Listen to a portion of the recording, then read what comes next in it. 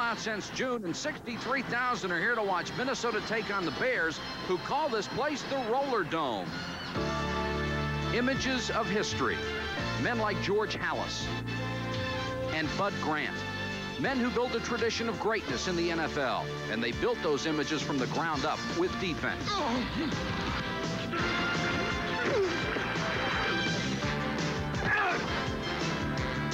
The most ferocious image of all, Dick Butkus.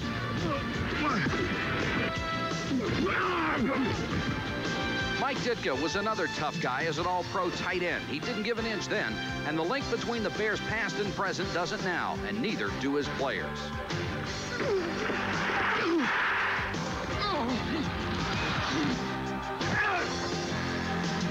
The Bears have tough guys on offense, too. Jim McMahon and Walter Payton personify the spirit of the Chicago Bears. The anchor of the Viking defense for 11 years has been Scott Studwell, and he gets lots of help.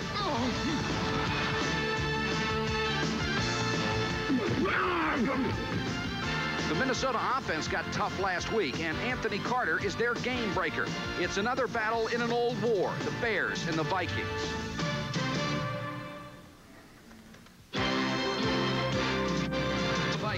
Tremendous rivalry and two of the hottest teams in the game, both 7 and 1, not counting the strike. The Redskins, the Bears, and the 49ers are the divisional leaders, sailing along toward the playoffs, but the wild card picture is still rather strange. New Orleans having a great year in Minnesota, the only other NFC team over the 500 mark. Good evening, everybody. I'm Mike Patrick, and it's great to have you with us for the Bears and the Vikings on ESPN. Neither one of these teams has played very many big games this year, but tonight will go a long way toward determining who is the best football team in the NFC Central. As always, it's a pleasure to be working with Roy Firestone. And Roy, Mike Ditka says he would rather be outside where it's freezing than in here in the dome. Mike, Ditka said last week the Metrodome doesn't befit football. It's more befitting of roller derby. So Mike Lynn, the Vikings general manager, had a great idea. He sent him roller skates last week. And here he is, Mike Ditka, rolling up and down the Lake Forest offices in Chicago. You know, Ditka's real Ukrainian name is Disco. Imagine the endorsement possibilities, folks. Mike Disco's Roller Palaces, maybe in your neighborhood. Well, there are no wheels on him tonight, but he hopes that the Bear defense has got uh, rolling once in a while. You know, the Bear defense gave up more yards in one game against the Denver Broncos than they did in three playoff games back in 85. They're playing less like Grizzlies and more like Gentle Ben, I think. Uh, so much so that Dennis McKinnon on offense said, hey, I want to do something about this. I'm going to take money out of my own pocket and fund the defense. He rewarded Al Harris $200 out of his own pocket last week for making a couple of big plays. I don't know how long the Bears' bounty will continue, but the schedule is very important for the Bears the rest of the way. They still have to play the 49ers, Seattle, and the Raiders. Big game here tonight, no question about it. Kind of like rollerball, and even James Caan would be proud. Well, James Caan is not here tonight, but another fine actor is. A star of Hill Street Blues, Ed Marinaro was the runner-up for the Heisman Trophy in 1971, and until Tony Dorsett came along, the leading rusher of all time in college football. He played for the Vikings from 1972 to 75 when the team went to a pair of Super Bowls. It's a pleasure to welcome Ed Marinaro to ESPN. Yeah, it's nice to be here. You know, we talked about Mike Ditka wanting to be outside in the cold. You had to play outside in the cold. The man's crazy. I only wish they had the Metrodome when I was playing in the early 70s.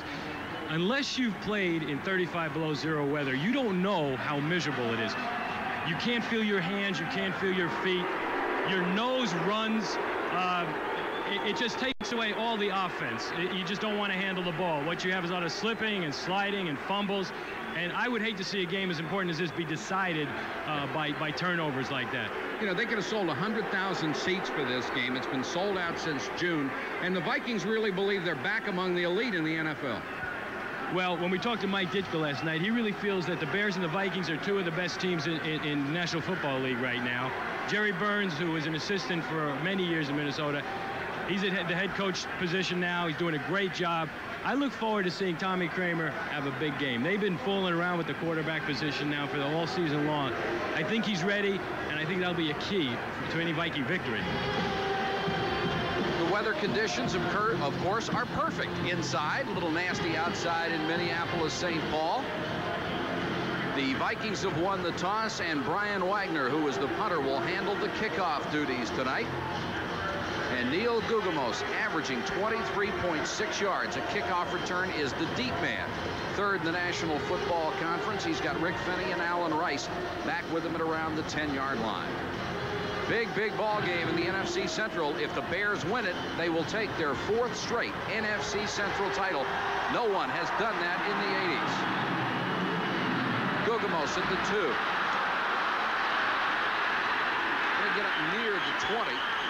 And the Minnesota Vikings will start from there. Tommy Kramer, the starting quarterback tonight, has had multiple injury problems this year, but still has the talent that made him the league's top-rated passer a year ago. Kramer's biggest weapon is Anthony Carter, who had a huge game against Dallas. He leads the league with a 24.2-yard average at catch. And the Vikings have an emerging star on the offensive line. Left tackle Gary Zimmerman has all the tools and great technique to go with it. Anderson 46 and Nelson 20, the split backs behind Kramer. He throws on first down and has his tight end Jordan, and Jordan lost the football. The Vikings got it back.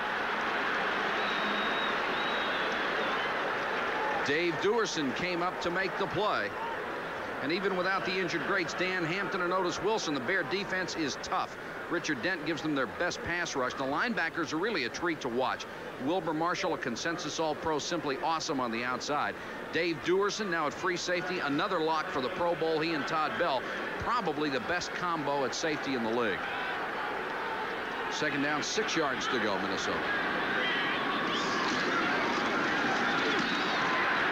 And they'll only get it up to about the 25. Nelson on the carry and Richard Dent on the stop. Ditka said at the beginning of the game, Mike, he didn't like playing in the dome. I think what he was really saying, he didn't like playing Tommy Kramer in the dome. You know, Kramer has won five of the six games played here in the dome. He very he plays very, very well against the Bears here in the dome. And that's the, the key guy, I think, right here, leadership-wise, Eddie. Third and four. They've got a full house backfield. Number 87 is Leo Lewis. And he'll go in motion. Kramer looking right and goes to Leo Lewis across to the 32-yard line. It is a first down. And the tackle, Wilber Marshall and Singletary. The linebackers on the stop. Cheerleaders on roller skates, and the scoreboard operator may need to do the same thing going to see the Vikes throw the football a lot tonight. I think that they're going to try to exploit the fact that there's no Otis Wilson. They're not going to get the same pass rush. Uh, no Dan Hampton in there either. Uh, Kramer likes the way he's throwing the football, he told us. He's been watching the films. He's uh, making some adjustments from injuries. He's a different passer, he says, than he was in weeks past. Watch Darrin Nelson. Okay.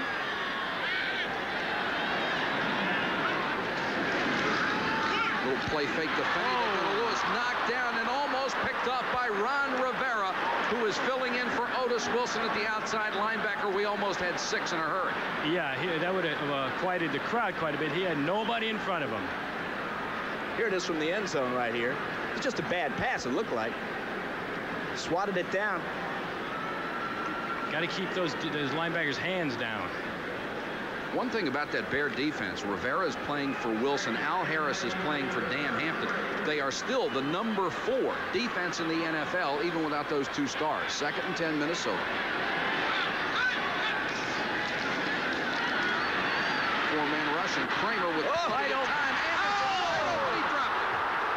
oh! Holy cow, Alfred Anderson out of the backfield, and Tommy Kramer hit him on the numbers. Boy, oh boy. We're talking 30, 40, maybe a touchdown. This is how open he was here, Eddie. Well, he was just trying to run with the ball before he caught it. Boy, he beat that coverage by a mile, too. Rivera on the outside. Anderson with only four receptions this season coming into the ball game. They do not throw to the fullback that much. And now they've got Hassan Jones in with three wide receivers, now make it four on third and 10 for Kramer. Kramer looks near side, looked like a mix-up in the yep. pattern. Leo Lewis, the closest man to it, incomplete, and they'll have to punt it away. And the kicking game has been a concern for the Minnesota Vikings. There goes my theory about dropping the ball because of cold weather. yeah, right. Greg little, Coleman not doing well in the punting department. A little sloppy early going for the Minnesota Vikings. Well, this is a big game. They're going to be a little tight. See what the Bears do. All right. McKinnon, fourth in the NFL in punt returns. He's had two touchdowns this year on punt returns. They're coming. Coleman gets a good kick away this time. McKinnon from the 20. Great coverage. They got him at the 27-yard line. That's a 46-yard kick, a six-yard return. The tackle by Joey Browner, who may be the best player in the National Football League on punt coverage. This guy, what is, what is it, Kwando? What is the karate he uses? He has a s- a s- incredible strength in his hands, Joey Browner does. They've been utilizing both, uh, obviously, in the secondary, but on special teams. He pulled Bo Jackson down with one hand from the ground a few weeks back. He may be the strongest secondary man in, in the pros. And he's very aggressive. Jim McMahon brings them out at quarterback. Walter Payton is at back. Anderson on the wing.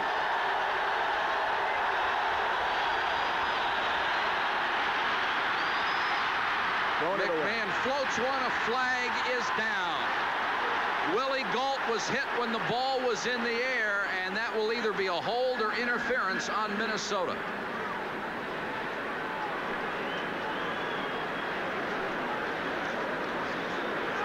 It will go against the Vikings. Jim Tunney, our referee tonight. It looked like he was throwing that ball away anyway. I don't think he uh, had anybody really open. John Harris Illegal contact, number 30, five yards, first down. was on the coverage along with Isaac Holt, and Holt will get the penalty. Jim McMahon starting at quarterback. He's made an excellent recovery from shoulder surgery. He's an exceptional leader. He's completed 60% of his passes this season.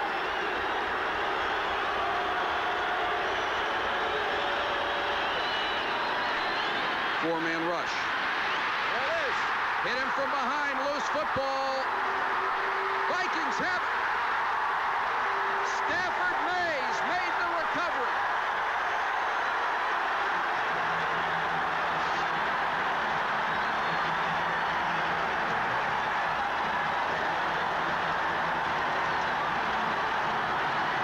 That's enough to get this crowd going, and that's just what the Bears didn't want to have happen. right? Now, that's one thing I wanted to mention about at the top. The Vikings defense may be better than the Bears defense. They have more sacks, more interceptions, more fumbles recovered in the last six games. They're coming up with the big plays, and this was a very big play. Well, Mays made the hit, and then he recovered the fumble. Mays playing in place of the injured Keith Millard, who was also involved in an altercation the other night in a local tavern. Big break for the Vikings. First and 10 from the 19 of the Bears. Anderson. Picked up three, close to four yards, down to the 16. The, the, the disparity between the Bears and the Vikings in terms of defensive statistics. Look at 24, nine more sacks, four more interceptions, four more fumble recoveries. The total forced errors really impact the game. The Vikings have played tremendous football defensively in recent weeks, and the Bears have been disappointing. Rick Fenney checks, checks into the Minnesota backfield on second and seven.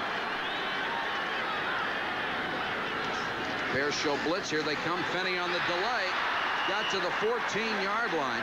And if it hadn't have been for Dave Duerson, who grabbed an ankle, Fenney would have had a lot more. They like this uh, Fenney running back. They say really comparatively like a like a Bill Brown, uh, maybe a Dave Osborn. You see that in him?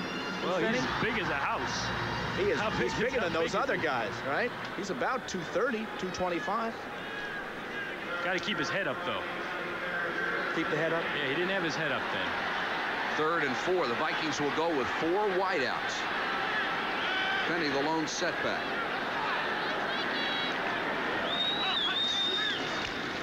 Blitz and Kramer to Gustafson. First down and driven out of bounds at the six-yard line. But Tommy Kramer read the blitz. Reggie Phillips drove him out of bounds.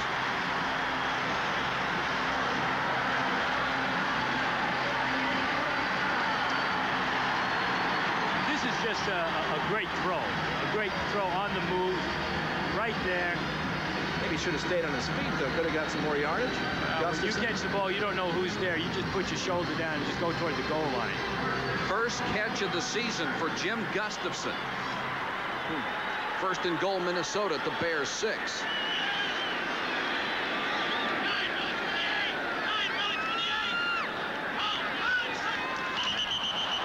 And the Vikings right side of the line. Greg Cook and Tim Irwin jumped off sides.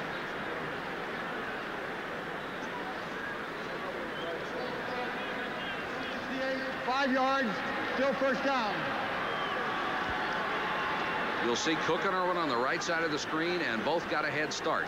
You think the noise could be a factor? It wasn't there, but it would be a factor tonight in calls and signals and offsides and things like that? Well, certainly not for the Vikings, but for the Bears, definitely.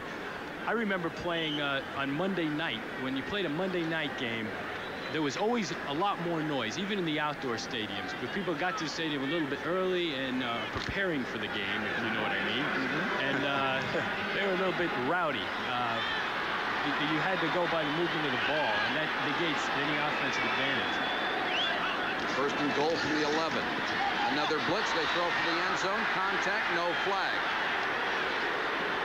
Anthony Carter, the intended receiver, and back there with him was Mike Richardson.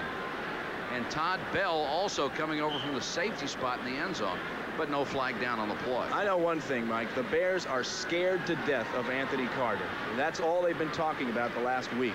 They think this guy is the biggest game breaker right now in the league, and they're right. He's averaging more yardage per catch Yeah. than anybody else in the NFC. Well, he'd been in a slump until last week when they played Dallas and he exploded 184 yards and two touchdowns. Kramer only one out of his last five after completing his first two passes. Another blitz. Here they come. And Richardson oh. goes up with Carter. Contact, but again, no flag. And Carter pleads his case. What do you think, Eddie? I don't really think there was much contact on. I think it was more acting than anything else for AC. Well, it's just people going for the ball, and they're allowed to do that. Watch it underneath. Right here, you just see him going for the ball. That's not illegal contact. Yeah, you're right. He Took his eye off the ball. I mean, after all, this is football, isn't it? I thought it was roller derby.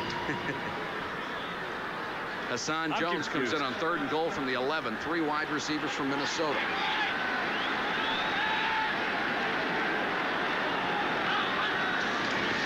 Nelson on the delay. And Dent nailed him as he got to the 10-yard line. And as usual, we've got some pushing and shoving after the play. Look at the helmet on Dent. Scratched that on a running back. Richard Dent was termed by Ditka Robert Dent. He tried to malign him a little bit to get him fired up by Ditka. Uh, Dent is much maligned, at times for good reason. A man of his talent should be great consistently. And he hasn't been this year. Not certainly like he's been in years past. Vikes with a field goal attempt coming up. For Chuck Nelson, this should be exciting. He's missed five of his last seven. He's been in a hmm. terrible slump. And Jerry Burns certainly hope he, hopes he comes out of it tonight. It will be a 27-yard attempt. If he misses this one, the crowd's going to be down on him. It's strange, too, because Nelson was the most accurate kicker in NCAA history at Washington. Hooked it.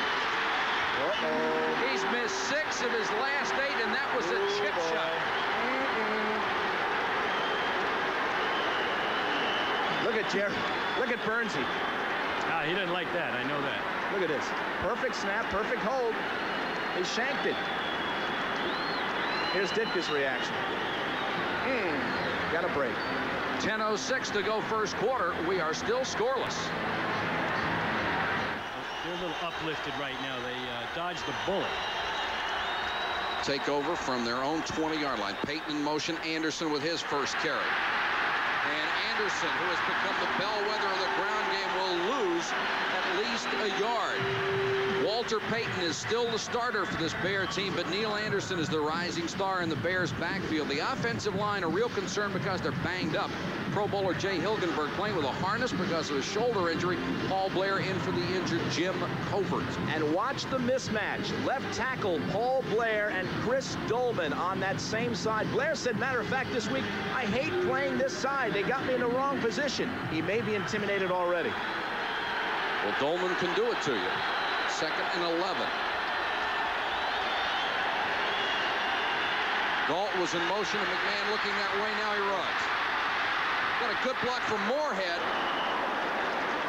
And Isaac Holt almost took him apart as he went down. That Viking defense has played well for the most part.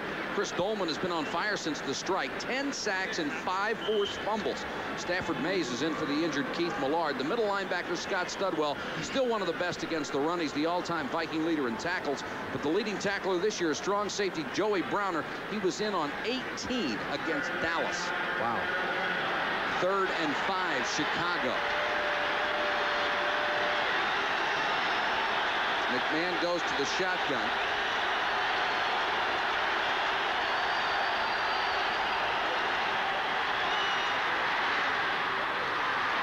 Throws for Gentry. He has it at the 34-yard line. First down, Bears.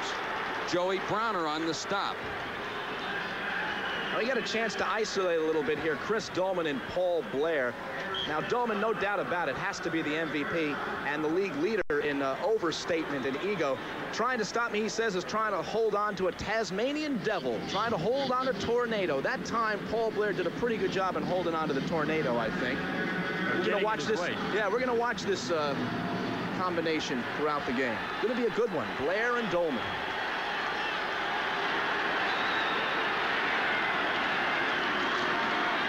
Anderson, little inside play, got maybe a yard as they were waiting on him. Doleman on the tackle this time from his right defensive end spot. Looks like Doleman takes the inside route here, utilizes his quickness extremely well. You have to remember, uh, he was a, a, a linebacker. He's drafted as a linebacker. Now he's playing a down lineman. He really gives him an advantage as far as speed goes. Yeah, but you'd think that he's a little mismatched in terms of size on the defensive line. 262 pounds. I don't know if it's a mismatch. Big enough, I guess, huh? That's big enough.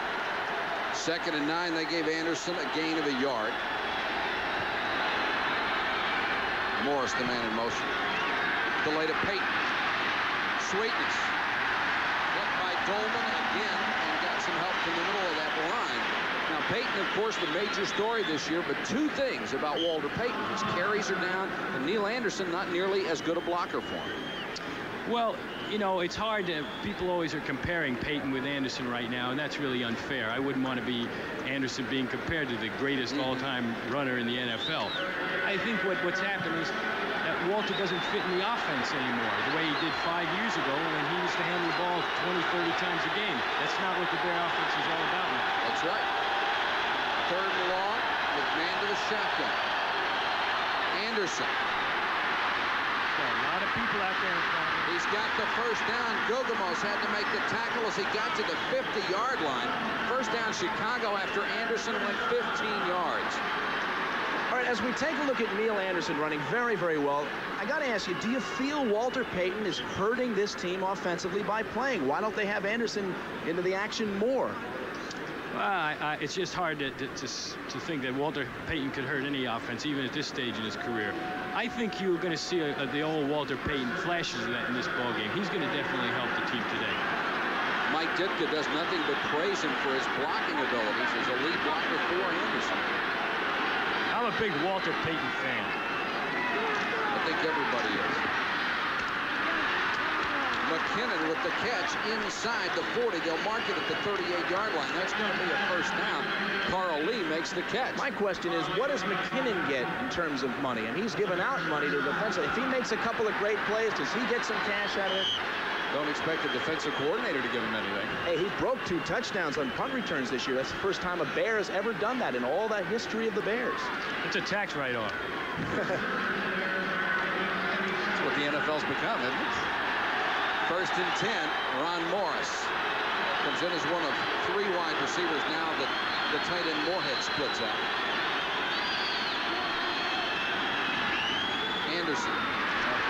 Got some room on the right side. Studwell with a fine tackle. Got him at the 35. So this is what the Bears wanted to do: get a, a sustained drive here, and it took the, it's taking the crowd out of the game. Now they can call, they can go uh, call their uh, go into the shotgun. I think they were afraid to use the shotgun because of the crowd noise, but now they, they can use all their offensive weapons. There you see Studwell. He doesn't run as well as he used to, but he's still great against the run. He's as effective against the run as he's ever been.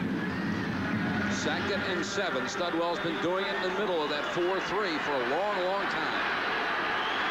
He's got a great name, too. Studwell. Studwell, middle linebacker. Five-man rush. They dump it off to Payton. Stiff arm and has the first down.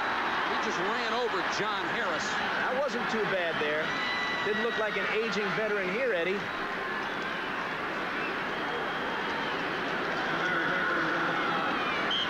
You know, Walter has always been real dangerous out of the backfield. Takes the ball. That's a great catch. Straight arm. He's so strong. Upper body. Look at how he keeps him off with his arms. Hmm. Very effective. Harris slapping at him. Three out of three for Jim McMahon, 31 yards. And there you see the numbers on Walter Payton for the season. Another first down, Chicago.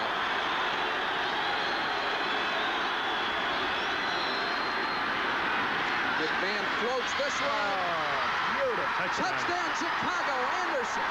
There is a flag down.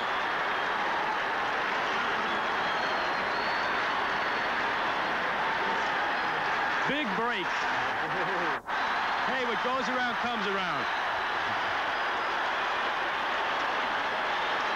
Let's see Mike Ditka's face. There it is. Here's the call. Illegal motion, number 83, five yards. Willie still Gault. first down. That pulverizes you. Ah. That's going to give the Vikings a little lift now.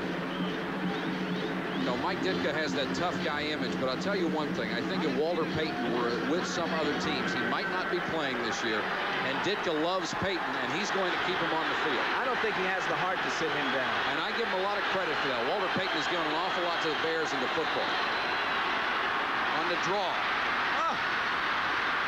Let me tell you something. Walter Payton would not be in there if Mike Ditka didn't think he could do the job. Uh, this is not a game of, uh, he's not doing Walter any favors. Walter Payton is very, still very effective, or he wouldn't be in there. Somebody told me, though, that he sees things now and he just can't get there. How frustrating is that for, for an older back?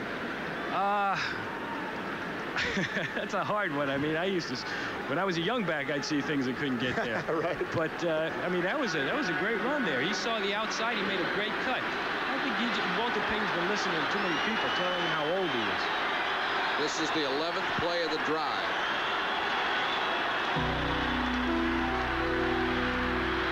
McMahon, the catch at the 12-yard line. McKinnon. The Vikings want them to overrule it. Now, don't misunderstand what I said. I don't think that Payton is is done. I'm just saying in another franchise, they might say, that's fine, we'll keep you on the roster, but we'll look ahead uh, to the future and play somebody else younger, and I don't think Ditka wants to do that. Well, I don't think I think you might see that happen on a team that's not a contending team. Yeah. when you're a contending team, you want the best people in there, even if it's it's one game at a time. First and 10 after the McKinnon catch. They mark it at the 13.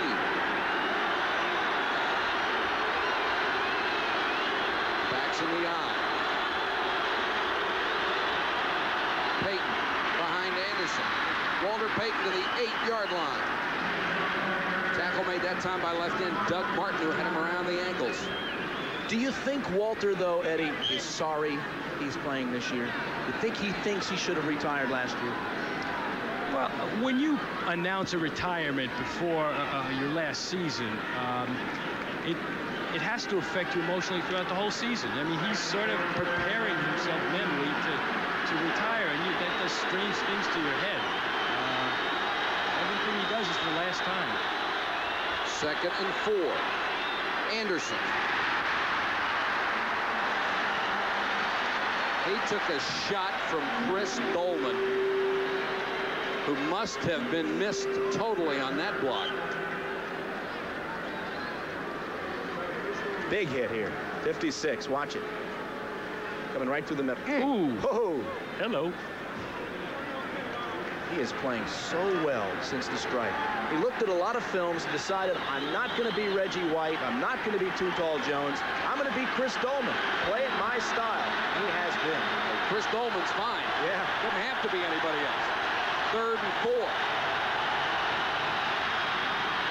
McMahon over the middle. It's caught, but short of a first down at the five-yard line.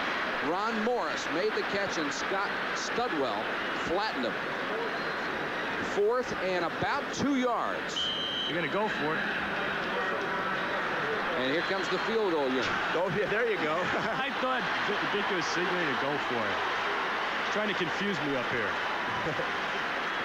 Doleman reminds me a lot of Matt Blair. Do you remember Matt Blair sure, play for the Vikings? I think he was 59. Yeah, I mean, he was tall. He was a linebacker. Doleman's much bigger, but uh, he looks a lot like him. As opposed to the Vikings kicking trouble, Kevin Butler has no trouble at all. He's had a great season, made 11 in a row, including two 52-yarders. And we have a stoppage in action. Can you believe that Butler, this is not to denigrate Kevin Butler, folks, but Butler has his own radio show in Chicago? I mean, they got they got to be 10 guys with their own radio and TV show in Chicago. They dominate the airways. It's unbelievable. I think Tom Thayer, an offensive lineman, has his own radio show. They must, I, I know Dick has a radio and TV show. Now, how much can you say about a team, folks? Depends on the station, I guess. Is what format you say it, right? They've already eaten up on this drive nearly 10 minutes off the clock. It's been 14 plays. And Butler from 27 yards is true. And the Chicago Bears draw first blood with 28 seconds to go in the quarter. It's 3 nothing.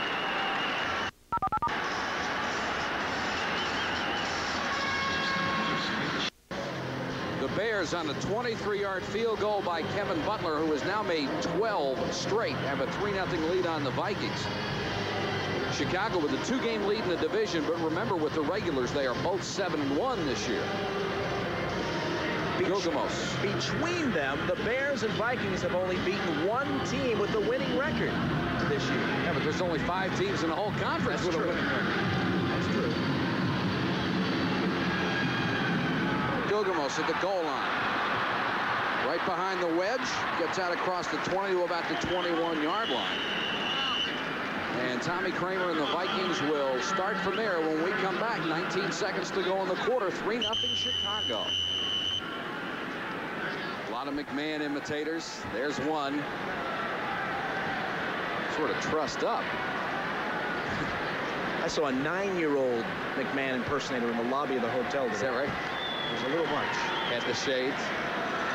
There's the real guy right down there. Made $5 million in endorsements last year alone. 5 million. Makes me sick. You're doing all right. That's true. Yeah, what you guys are paying me. It's only 19 seconds to go in the first quarter because the Bears had a drive that took nine and a half minutes. And now the officials just coming back from the sideline after talking to the coaching staff of the Bears.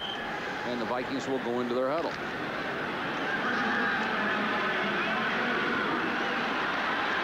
Darrin Nelson may start to get some carries. He is the best in the NFC, averages almost six yards a shot on the ground.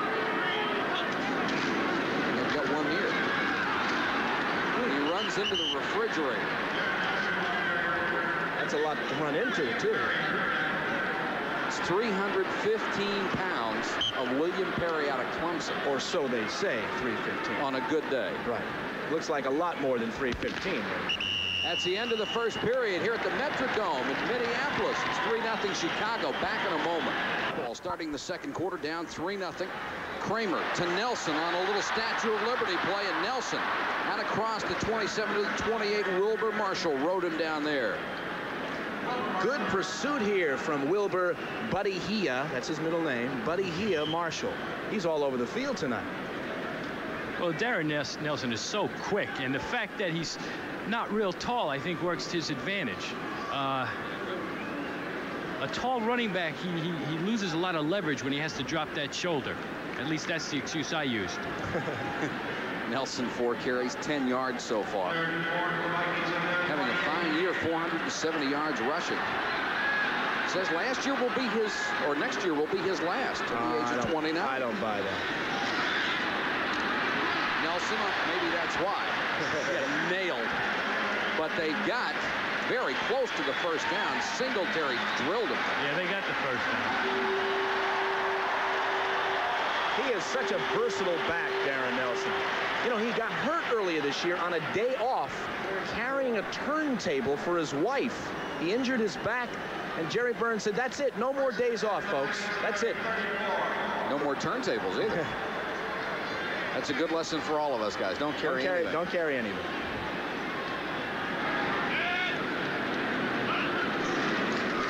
Fake to Nelson this time. Kramer deep over the middle. Lewis wide open. Todd Bell has him at the 35. Leo Lewis with a 29-yard catch from Kramer.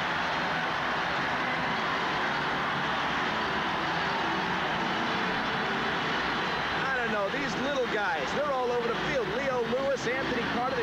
How big could this guy be? 5'8"? Whoa! Tried to take his head off there. Tough. And he's talking to him, too. I can't say his name without saying little. Little Leo Lewis. It just, the alliteration appeals to me. Little Leo Lewis. Had a great year in 84, tailed off since then, but is having a fine season this year. Nelson behind Fenney. And the Bears did a good job plugging that one up. Al Harris, number 90, was in on this stop, along with Steve McMichael. You see these guys getting so banged up. You and you hear Darrin Nelson talk about retiring at 29. You retired at 28. A lot of it was their doing, but you did get out of it because you, you had some banged uh, bruises and hurts, right?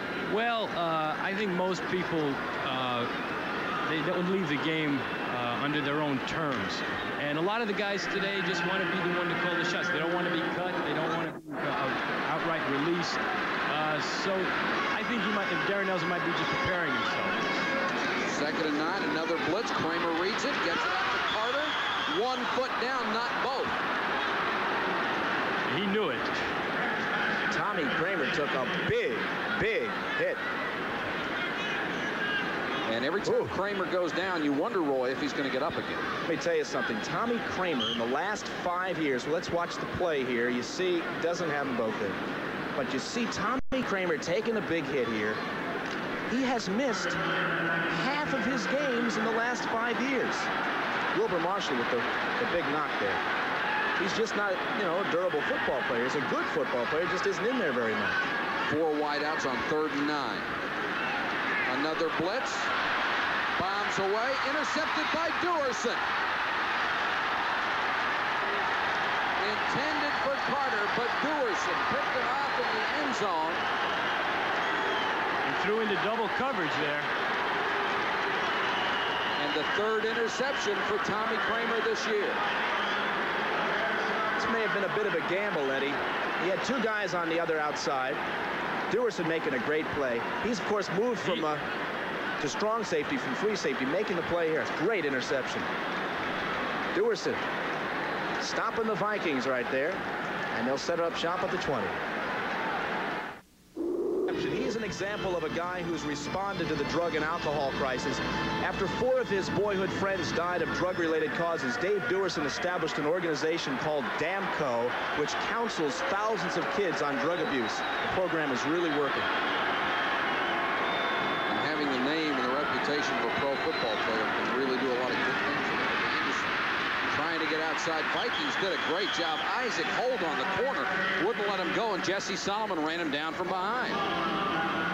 Mike Ditka told us last night, Ed, that the biggest change on the Vikings, offensively and defensively, is team speed, particularly on the outside. You see that tonight? Yeah, you see that not only on the outside people offensively, but in the defensive backs. Uh, they come up real hard, real fast, and they can uh, uh, uh, stop any of the runs, any wide runs.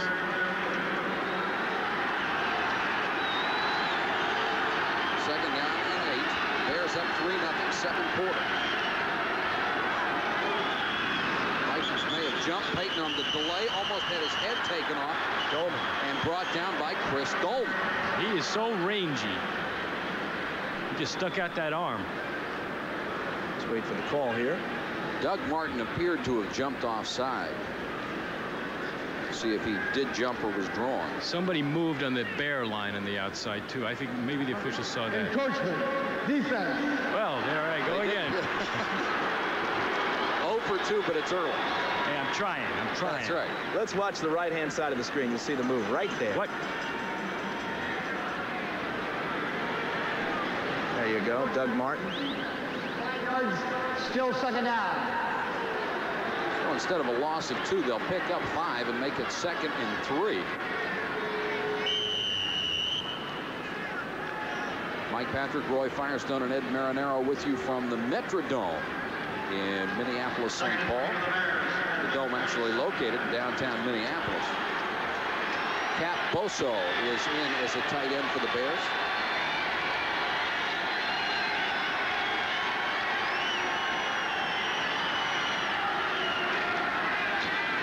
Sanders. Hmm, 33-yard line. First down for Thomas Sanders, the third-year man out of Texas A&M. I love the way this guy runs. I think they got to get more action for Thomas Sanders. You know, he broke his neck in college. Charlie Taylor also had a broken neck in college, but this guy re recovered. Obviously, it wasn't a serious broken neck, or he wouldn't be out there. But there's always in the back of his mind that injury to contend with. And a couple of other running backs who can play on that team. Calvin Thomas, Matt Suhey, who has not had a carry all year long as a running back. Boy, they have so much depth running back, the Bears. But the offensive line is where they've had their problems. A lot of injuries, guys playing hurt. Paul Blair is in there for Jim Covert at the left tackle. He's going against Doleman. McMahon deep sideline, well overthrown. Browner, the closest man to it, intended for McKinnon, and McMahon Ooh, took a shot. uh-oh. Yeah, he took a big hit. Come on, Jimbo. Walk it off. I'd hate to see him leave the game. And can I tell you something? He's also playing tonight with a very, I mean, it sounds like a wimpy thing, but he's got a very upset stomach.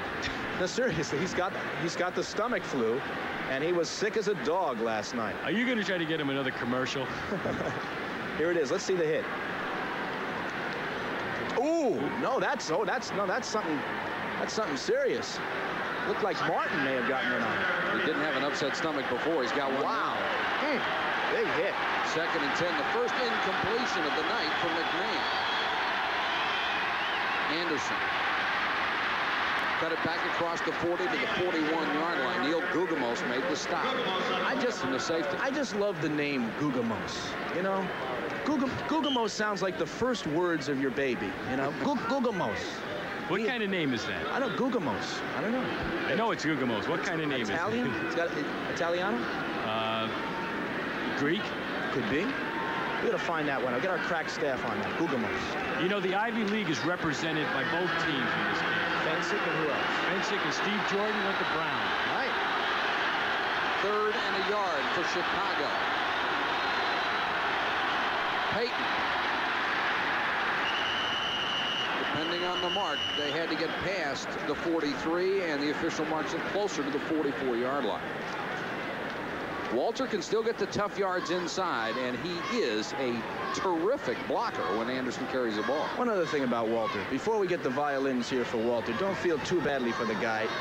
In annuities, for the rest of his life starting next year, $250,000 guaranteed a year for the rest of his life. Not a bad deal. Not that he needs the money, but just something to think about. There's another guy who would like to become uh, the first minority owner in the National Football Yeah, we League. talked about it in the preseason, the Oakland franchise, the possibility of uh, uh, ownership, uh, at least part ownership on the part of Walter Payton. and it is a first down. Yeah, when I turn 65, I get $650 a month in the NFL pension. Whether you need it or not. It depends on your lifestyle, That's though. right. I don't that's need right. that much. That's right. What do you really need, Eddie? I Don't know what, ask me I, that. I know Don't what you really that. need, but I mean, besides that. Nose of the ball at the Chicago 44, first and 10. The Bears lead by three, and they've done a great job of running the clock down here in the first half and keeping the ball away from Tommy Kramer. Payton inside hand. A lot of people. Midfield, there's that move we have seen for so many years where he just seems to hesitate in midair. John Harris made the stop, a 14-yard gain for Walter Payton. The Vikings are hoping he'll retire at halftime. He hasn't had a 100-yard game in two seasons, but he might be off to a good start tonight. Let me tell you, this is exactly what Walter needs to get his confidence back. I, if you can believe it, a guy who's that, has been that great a runner for so many years, I think he's lacking confidence. 28 yards so far, but running well in five carries. Thomas Sanders checks into the Bear backfield. First and 10, Chicago. The Bears have worked on going with a silent count if the crowd is very loud, but right now they don't need it. McMahon had it stuffed back in his face. Henry Thomas, the rookie out of LSU, got the hands up. Henry Thomas is the guy who beat out Tim Newton at the nose tackle. He makes up for uh, what some say might be his lack of ability with great desire, quick and nasty. I mean, as nasty as a, a rainy Whoa. night in Detroit somewhere, huh? I mean, this guy looks to penetrate it all the time, working inside with Doleman. Big, big addition defensively. He was a terrific pass rusher at LSU as a nose man. David Howard says he's the best first-year defensive player I've ever been around, his teammate. Second and 10 from the Minnesota 43.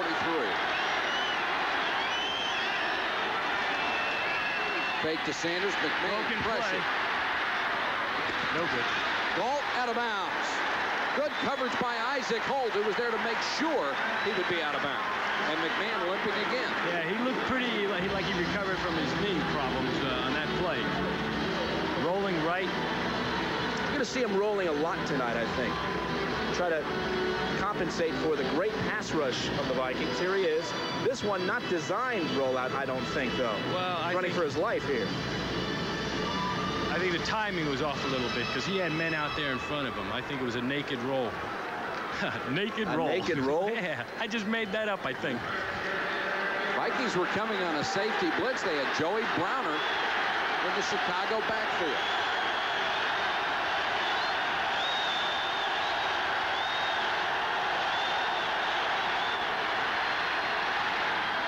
Bombs away. Oh! Touchdown, Willie Gault. That was just a great throw. Beautiful.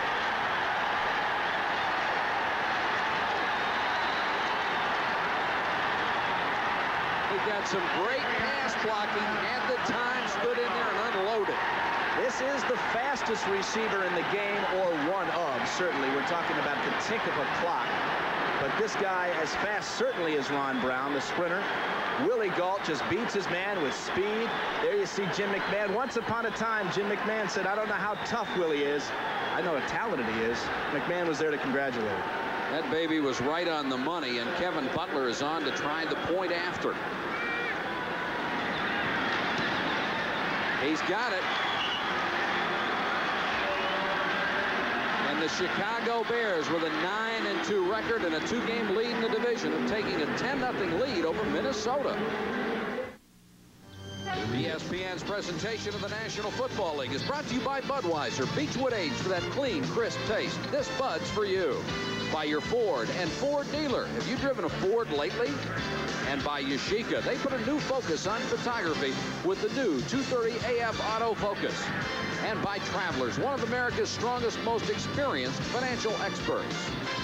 Seven minutes, 40 seconds to go. First half of play from the Metrodome, and Jim McMahon hits the long touchdown pass to Willie Gault to give the Bears a 10-0 lead. Bears kicking off. Gugamo standing at the goal line. Think this is the five. Go, Does go, Guggemos. Get back to the 20-yard line. There. Will Johnson, a reserve linebacker, down on special teams. 80-yard drive that ate up 4 minutes and 13 seconds. The drive for the field goal ate up 9.38, and Gault got the last 42 from Jim McMahon. He may be a Pro Bowl receiver this year. This could be Gault's year. Certainly playing like it. Jerry Burns, he came in to a situation where he had been overlooked, chance to be the head coach, finally got the job, and he's made believers in the Vikings, and they like him and would like to win for him. Kramer floats it down the sideline. Nelson with a great try, but can't hold on. Wilber Marshall was with him, stride for stride, and Mike Richardson trying to come over from the corner to help out. Eddie, did you hear the line Darrin Nelson said about uh, Jerry Burns today? He said Jerry Burns looks like Big Jim on Taxi, and he acts like. What would you you you played for Jerry Burns? Yeah, Jerry uh, uh, was a little more um, uh, outspoken when he was an assistant coach. All I remember about Jerry Burns, he was always yelling about something, always yelling at me, and he could never remember anybody's name. He called me about six different things. I didn't know who he was talking about. Second and 10 Vikings. Bears have done a great job shutting him down so far. Perry has the sack. Yeah. Hey, that's not that, that's illegal. I don't think the karate chop landed. When you look at the fridge, what do you think about? What do you look, look at the guy's size? I look at a guy who doesn't say no very often. How would you block this guy? Uh, Just hope. huh? I don't know. I uh, I remember once against Dallas, I had to block two Tall Jones all day long. And he ate my lunch. He's done it to a lot of guys there. Third and 15. Kramer to the shotgun with four wideouts. Four-man rush. McMichael in pursuit. Kramer will have to go on a mound.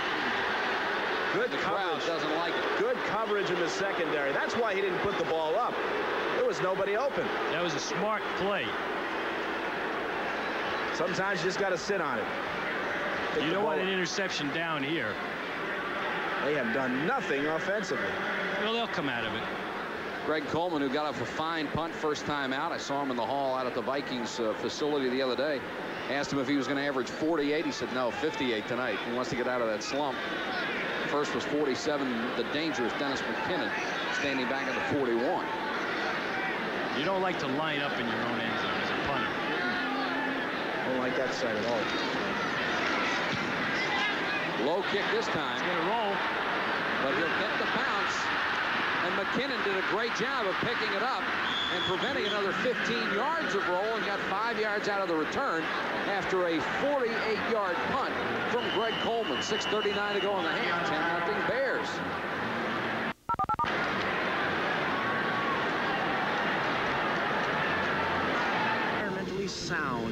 Brings back memories at Marinaro of the way it used to be at the beautiful Mets. Can you bel I can't believe you guys played in this. Doesn't that look like fun? Look at Osborn.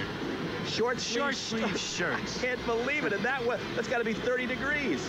Hey, Below those zero. were the days. Bud Grant used to tell us uh, about the Eskimos and the Alaska pipeline and how they were never cold because they were ready mentally to be cold. Oh, as hard as I try to imagine I was in Hawaii playing golf, I was still cold. Start from their own 43. McMahon, who threw a touchdown pass last time out, goes for his tight end. Moorehead over the middle. Browner and Studwell were there.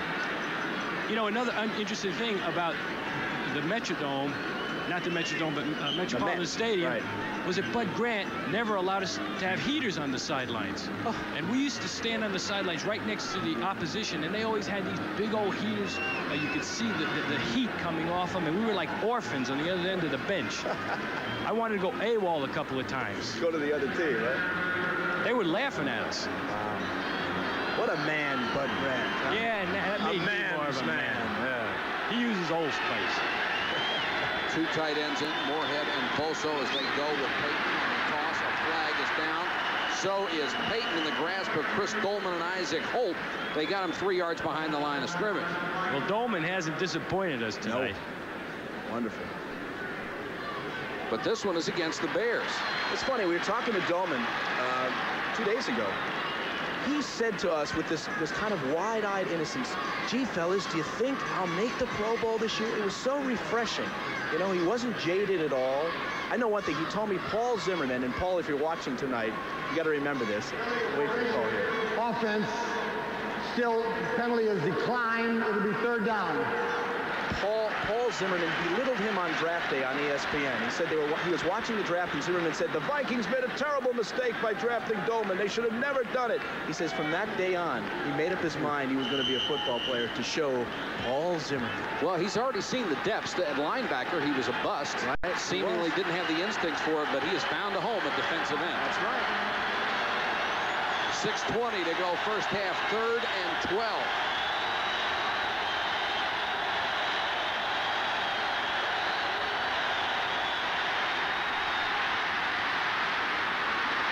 McMahon directing traffic, trying to run for the first down, but stepped out of bounds about four yards shy, just across midfield.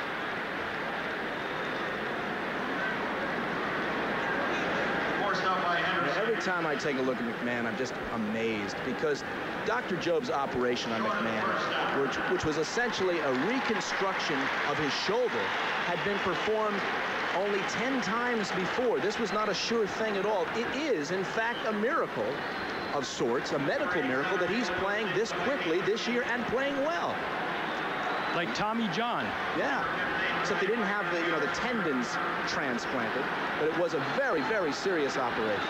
Leo Lewis standing at the 10-yard line waiting for Bryan Wagner's punt. He's been up and down averaging 41 yards a kick out of Cal State Northridge.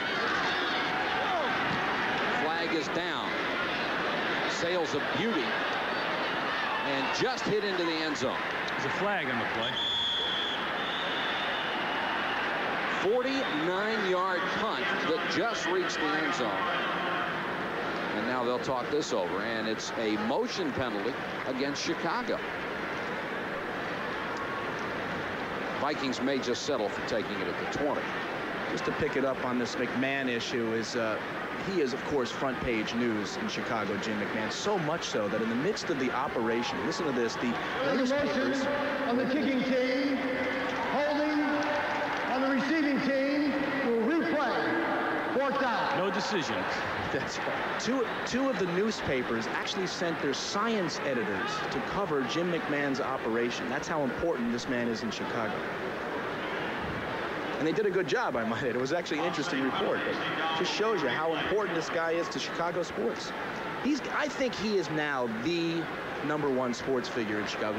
He, he is, I think, supplanted Payton. Anything he says. How about the may- may- country? Maybe the whole country. Wagner to punt again. This time he goes for the sideline. And this will be beyond the 20-yard line. So the Vikings got a break when the penalty. Oh, we got a high five from Calvin Thomas. He gave the official a high five as he came up the sideline. They're having fun out there. I love it. Only a 24-yard punt. The Vikings with pretty decent field position when we come back. That's the reserve back for the Cleveland uh, for the Chicago Bears. I, we, we got to show you what he did. He, this is the referee giving a signal to the other ref, and Cal decided, hey, I'm going to give him a high five anyway. Well, he's a friendly sort of guy. That was great. Got to have a sense of humor. Anderson on the toss. Bears did a great job of stringing it out. It will only get about three yards out of it. Wilber Marshall in on the stop along with Ron Rivera. And there are the roller skates. This is, of course, in uh, reference to Mike Ditka calling a dome the uh, only decent place for a roller derby and not football. We need more shots like that. That's what it's all about. Minnesota women are very What, what are they? They're Yeah, that's okay, Ed. I'm, I'm, I'm supposed to watch you tonight on what you say about Minnesota women. Okay. Second and seven. Rich Don't be getting me in 31 is it? Kramer to Nelson. And Perry smelled it out and threw him down. ah, that's taunting. You go tell him. He is having maybe his best game of the year tonight. Fridge is all over the field, Ed. he can't help but be all over the field. I didn't want to say anything. This guy could cover Canada, folks. Look at Uh, this very nicely. He puts him down. Hello. Pulled the trigger. yeah. This will make it third and 15. That graphic's wrong. He's 315 Took off too, huh? on game day.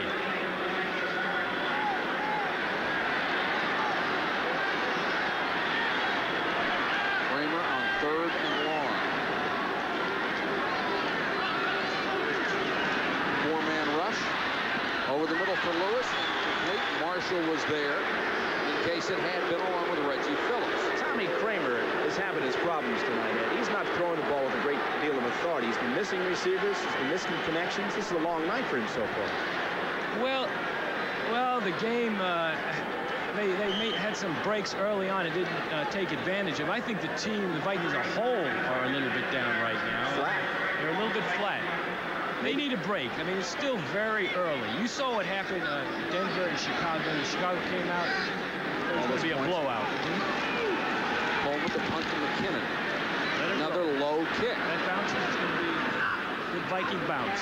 Flag is down. McKinnon has taken two back for touchdowns, but not this one. And tackled by his own teammate. Seven-yard return after a 46-yard kick. About half of it rolled from Greg Coleman. We'll check out the penalty.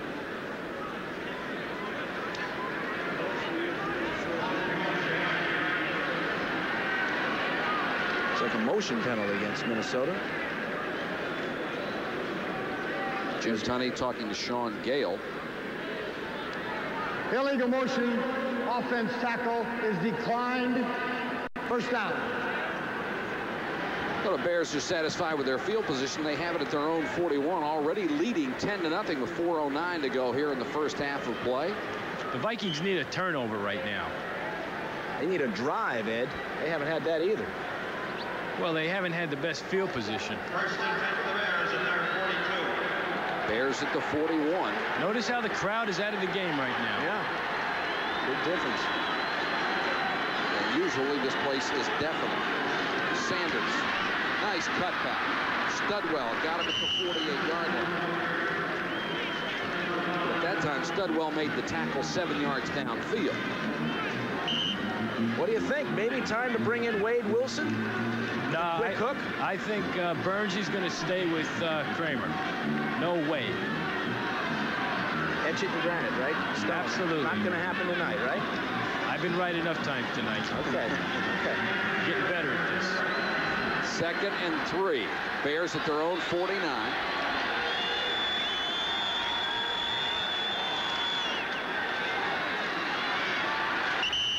And to the Viking 45 goes Neal Anderson.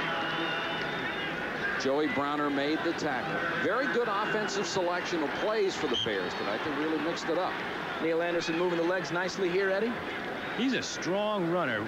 Just keeps on going forward, keeps spinning. And you see uh, uh, Paul Blair in there hasn't hurt them too much. Tackle's playing well tonight. Tackle's playing well. He's in, playing in place of one of the best, Jimbo Covert.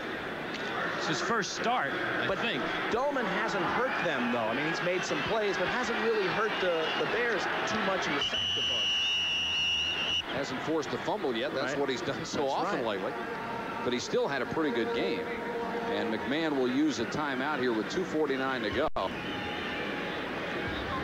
I think maybe the most heart-rendering story on the Bears is the story of Jimbo Covert, who is not here tonight. Paul Blair playing in place of him. Jimbo's daughter, Jessica, was born with spinal bifida, which is a spinal column disorder that affects two out of every thousand children. The child was in intensive care for 23 days this summer. Uh, the Bears players and coaches organized a charity. Jim, his wife Penny, and his seven-year-old son Casey were all there. The outlook for Jessica is very promising. It appears she'll have partial use of her legs, though she may need to wear a brace. Now, what makes the story particularly poignant, Mike and Ed, is that Jimbo Covert may be the most charitable of all the Bears, very active with the March of Dimes and United Way and a lot of other charities in Chicago. And he said something that I thought was very moving. He said, regardless of the outcome with my daughter, I am blessed and Jessica is blessed as well. It's a nice story. Jimbo, if you- you're out there, our prayers are with you. You bet. takes a lot of courage to face something like that. We remember it was going on during the preseason when we did a Bears game. And he was out there playing just as hard as he could. And it Yeah. must have been very difficult to try to keep your mind on something like football. Playing through an emotional pain, not a physical pain. Yeah. He's got the physical right now. Very bad ankle. Was on crutches earlier this week. But he'll be back. Two-time Pro Bowler.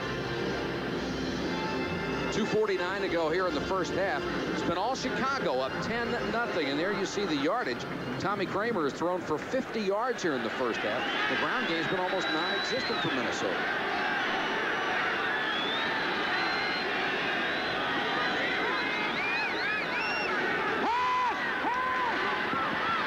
McMahon wants another deep one. McKinnon makes the catch. Lost it at the 15. It's down. It's complete. Holt and Harris on the coverage, but a 33-yard gain. Now you'll watch number 39, Carl Lee, on the coverage of this play. He takes his eye off the receiver for just a moment, and McKinnon will cut inside. You watch the play. He just hesitated for just a moment, and McKinnon had cut inside and makes the catch. There, there it is, right there on Carl Lee. Harris got a shoulder in there and shook it loose. Doleman trying to put the pressure on McMahon. McMahon so far 7 out of 11, 120 yards in the first half. Sanders. Studwell chases him down, got him at the 13-yard line, got some help from Isaac Holt, who comes up from the corner to help out on the tackle. We've reached the 155 point in the first half. Chicago 10, Minnesota nothing. That strong safety, Joey Browner, on the sideline, taken out after the last play. He was leveled by a block he never saw, came up limping. I think he's going to be all right. It's McKinnon and Boso with a, a very low block. That's overkill. Mm. Boy. Got sandwiched in there and came up limping. He's okay. And he's the guy they really need in there. Second and 10. Nice fake by McMahon. And he gets out of bounds at the 10-yard line to stop the clock with a minute 49 to go. Stafford Mays was the man who was trying to put on the pressure. By the way, that block we just saw involving McKinnon and Boso that uh, knocked Browner out of the game and now he's back in the game is considered a legal block. This is why, folks, we always talk about the fact that uh, down the road, uh, medical attention for players once they get out of the game, uh, health care, very important, something that uh, we should all consider in the equation when the NFL players went out on strike. And Stuff the, you don't read about in the paper the next day. Really, the trainers have uh, become so specialized and so good at their job. Before, trainers were guys who just taped you up and let you play. Uh, these people are real professionals. Third and seven.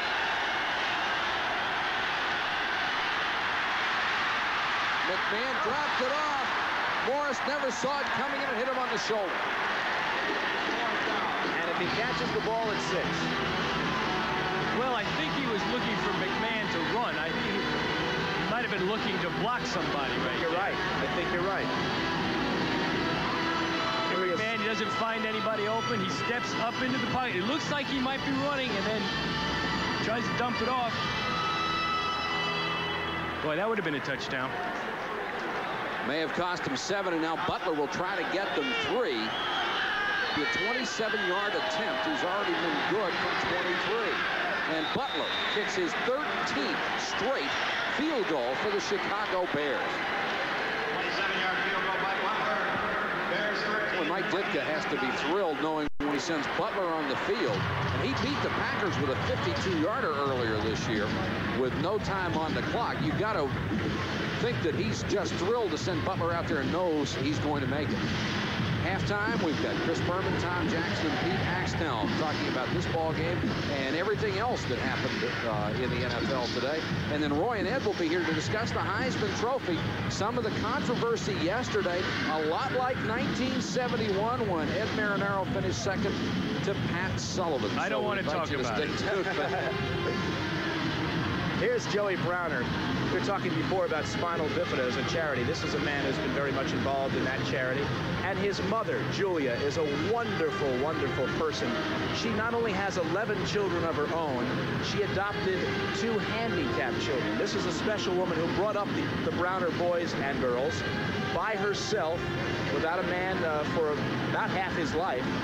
And uh, it, it's really a remarkable story. I think it's a TV movie myself. Joey turned out to be a pretty good man. Yes. He has, he has some brothers who play. Yes, Ross and Keith and Gerald, a 300-pound lineman that played in Georgia a few years back. The great Browner family. Joey had to fight for dinner, I guess. Wasn't that Bud Grant? no. we'll find him for you, Eddie. We'll find him. Guggemos on the bounce from the five. Vikings could use a big return, and he'll give it to him out to the 31-yard line. Maurice Douglas down on special teams after a 26-yard kickoff return. That drive went 49 yards and only 228. For the second time in the game, Butler finished off with a field goal. And our crack staff, John Wildhack and company down in the booth, have told us that Neal Guggemos is German-Bavarian derivation. I knew that. You knew that, right? Guggemos. First and 10 for the Vikings. Need to score right here.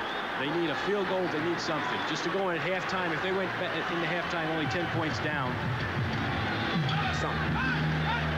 Kramer has struggled in the first half. A minute 34 to go. Guns this one complete to Nelson at the 38-yard line. And now they'll go to the hurry-up. Singletary on the coverage. Nelson very good coming out of the backfield.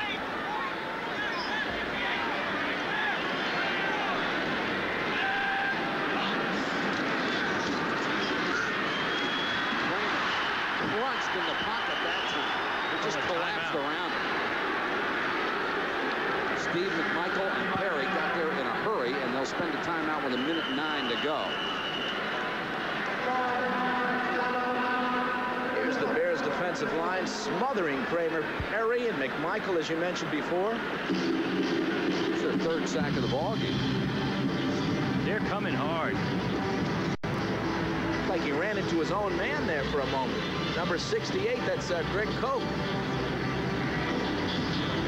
Don't forget, Tommy Kramer was the number one rated quarterback in the National Football League in 1986. When he is healthy, he is a terrific performer, but you need a little bit more time than that. I think they have to start to run uh, uh, uh, more rollout type things, it's particularly in a two-minute offense. You want to use the sidelines more, having Kramer move out of the pocket. I, I, think sitting right back there like that, it, it, when uh, the defensive line just putting their ears back and coming, I think they're going to have to do some rollouts. We've seen McMahon with great success with the rollout tonight, getting away from that pass rush. Well, Kramer's, he's pretty mobile. He can move pretty well. First half tonight, Kramer with only 41 net yards passing. He's thrown for 55, but he's been sacked three times for a loss of 14, and he has the one interception. A lot of people critical of the Bear defense. Not playing too bad. Mm -mm. Take this every minute. Third and 11 out of the shotgun. Look at this. Kramer dumps the pass, and it's incomplete. The closest man to it, cornerback Vestee Jackson, number 24. And Richard Dent this time. Richard Dent with tremendous pressure on Kramer. I think he, this is a hurry. This is what is defined in the NFL as a hurry. But uh, it, it, definitely did its, its job. Dent just with the big hit at the bottom there. Hmm. That takes its toll. He never got a chance to set up. Greg Coleman, who's had one real good kick and two low line drives, is back to punt to Dennis McKinnon. You think they're coming here? Ten men on the line. And Coleman shanked this one. Greg just having a terrible time. A 20-yard kick off the side of his foot, and the crowd doesn't like it one bit. And the, the crowd is a factor, but uh, against the Vikings this time. Boy, the kicking game has killed the Vikings. Field goals, punts. Let's take a look at this. Is this roughing Ed? Let me see here. Oh, no, there's no... No way. Well, actually, he was blocked into him. Studwell blocked him into him. Fine performance there by Mr. Coleman. Greg took uh, 102 at Florida A&M. It's drama. Tough night for the veteran, and the Bears, with 57 seconds left and two timeouts, have a shot at getting something else on the board. Remember, Butler has tremendous range as a field goal kick.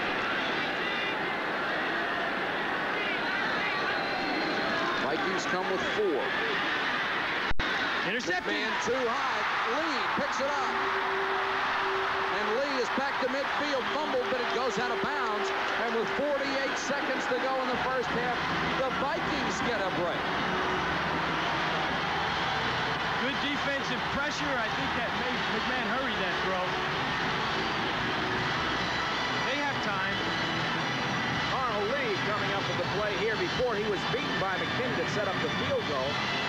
And there he is the interception. Ball just overthrown. Nice block by Browner there. Look at McMahon going in there making the tackle. Wow, he's tough. Uh, he doesn't care. He's got that linebacker mentality.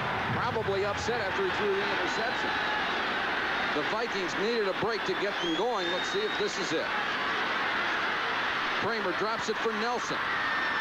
And Nelson brought down as he got to the 48-yard line. Barry Switzer said that the fastest man on any football team is the quarterback who just threw an interception. That's right. Sometimes off the field, I might add, too. Two timeouts left for Minnesota. Here comes Dent. Kramer got away. Get out of bounds. Got a great block downfield. Leo Lewis, or Anthony Carter, threw a tremendous block downfield. Kramer getting ready to run out of bounds. Instead, he turned it up for 10 more. We were just talking about that the other day, how important it is for a wide receiver to block. And this is a perfect example of, of, of how a wide receiver can just make a play. Kramer's ready to go out of bounds right here, and he sees the block, and he just turns it right up the sidelines. You wouldn't think at 5'8 that little Leo, Leo Lewis could lay a big block in there. It, It's it was actually here. Carter. He- Well, he's only about five. And he gets knocked down. 5'10". He gets knocked down and gets up and throws the block.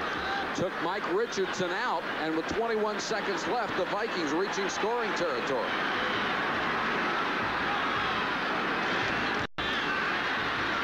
Fenney, 30, 25, got out of bounds at the 24-yard line.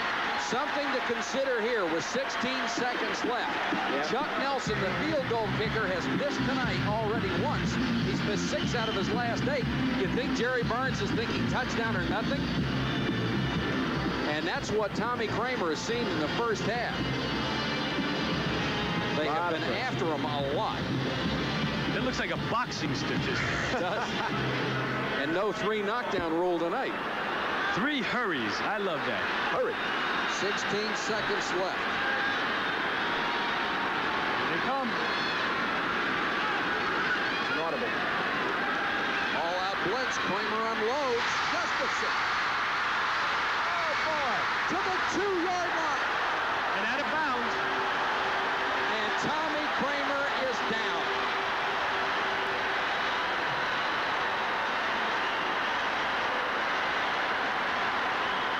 The touchdown towels wave, but now all that joy turns to wonder. Got the wind knocked out of him. And if you've never had that happen, you don't know how what a desperate feeling it is. You think you're going to die Yeah. right there. See watch how it it. happens. You know what? Boy, that was a delayed reaction. Did you see that? Looked like he got nailed in the head by Singletary. Wow. Did you see the delay on that? That is a nerve. He. He had had a nerve problem before Right. in his shoulder in the preseason. Now there's Kramer on the sideline. Yeah, that's what it is. Yeah, you're right, Ed. And Wilson had come into the ball game. And you and people wonder why Kramer hasn't played a lot of games. I mean, that's a great move right there. That's a great move. You know, that could have been a touchdown. Could have been. Here's Ditka's reaction. Come what's going on down there? Gustafson has caught two balls all year, both of them in this ball game. And let's see who will be the quarterback. Kramer came out, now it's Wilson in there with nine seconds to go in the half, and Kramer trying to shake it off and see if there's anything left in that shoulder. It changes the whole rhythm, though. You have a new quarterback in there in a crucial time, huh? Well, they have. Do you think they have time to run two plays here? They have a how many timeouts? They have one timeout left. And of course, at the one yard line, if they throw, no problem. And even if they run, they can, they can stop the clock one more time. Got enough time. Depends upon what play they call, of course. They need the touchdown. Down 13 nothing. And they have three tight ends in the ball game. Jordan 83, Hilton 82, and Mike Mularkey 86 in their goal line offense. Rice and Fenney are the backs.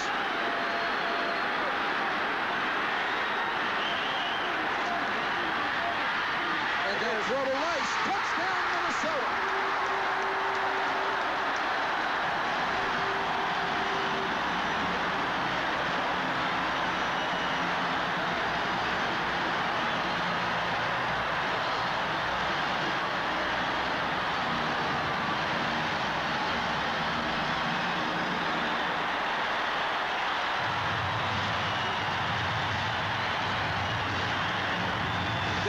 That a great play call.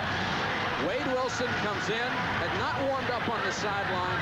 Good play fake, and they get the touchdown. That shows Jerry Burns' confidence in Wade Wilson. Nelson for the point after.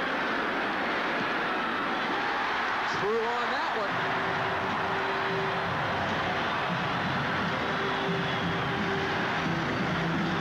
Terrific play selection here, Ed. No one anywhere near Allen Rice. Rice with his first touchdown reception of the season. Wade Wilson with his 11th touchdown pass. for the second consecutive week now in games we've carried four touchdowns from guys named Rice. That's right. He's not thinking of roller skates, Mr. Ditka, at this point. Six seconds to go in the half. Allen Rice out of Baylor, a four-year man. He played and the very, noise is back in the dome. played very well for DJ Dozier and uh, Alfred Anderson did Alan recent weeks. I just like what Tommy Kramer did right there. Coming back like that, a couple of key passes, bringing down the one-yard line. You know, the guy doesn't quit. You're right. He's a, he's an all-pro. Well, do you go back with uh, Tommy if he's healthy, or go back with, with Wade Wilson second half? You go back with Tommy Kramer, working his neck a little bit here, spitting a little bit, wiping his forehead. Mentioned DJ Dozier. He is not playing because of an injury, and they were very hopeful that he would. Right. Because coming back from the strike, he was in great form. Well, he is a, a first-class running back. I watched him in an exhibition game. Uh, That drive of 53 yards only took 42 seconds in the hurry-up offense, and Wade Wilson coming in for the injured Tommy Kramer. One play, one yard, one pass, one touchdown. Except for that last drive, Mike Ditka has had it his way here in the first half with a 13-7 lead. Bears are deep with six seconds to go. Will they kick it off deep? Little squib kick. Trying to get the first half over. Nope. And they got it back to the 37-yard line. One second to go. And we understand that the uh, shoulder injury to Tommy Kramer may have been aggravated. And we'll have to wait to see in the second half if he can return to play for the Vikings. And you hate to see a guy like Kramer get hurt, as Roy had mentioned earlier. You see it a lot, 28 out of 62 games not being in there. Wow. He pays the price. He's a tough football player. Boy, I like his style. Go in there. He's got a what the hell attitude. You know, get on the field, go. watch your language, Roy. Oh, One second left. What do you do here, Coach? First and 10 for the Bears on their 38. Throw deep. A typical offensive reaction. Quick kick. They give it to Anderson. Anderson gets it up near midfield. And that ends the first half. Our score here at the Metrodome in Minneapolis, Chicago 13, Minnesota 7.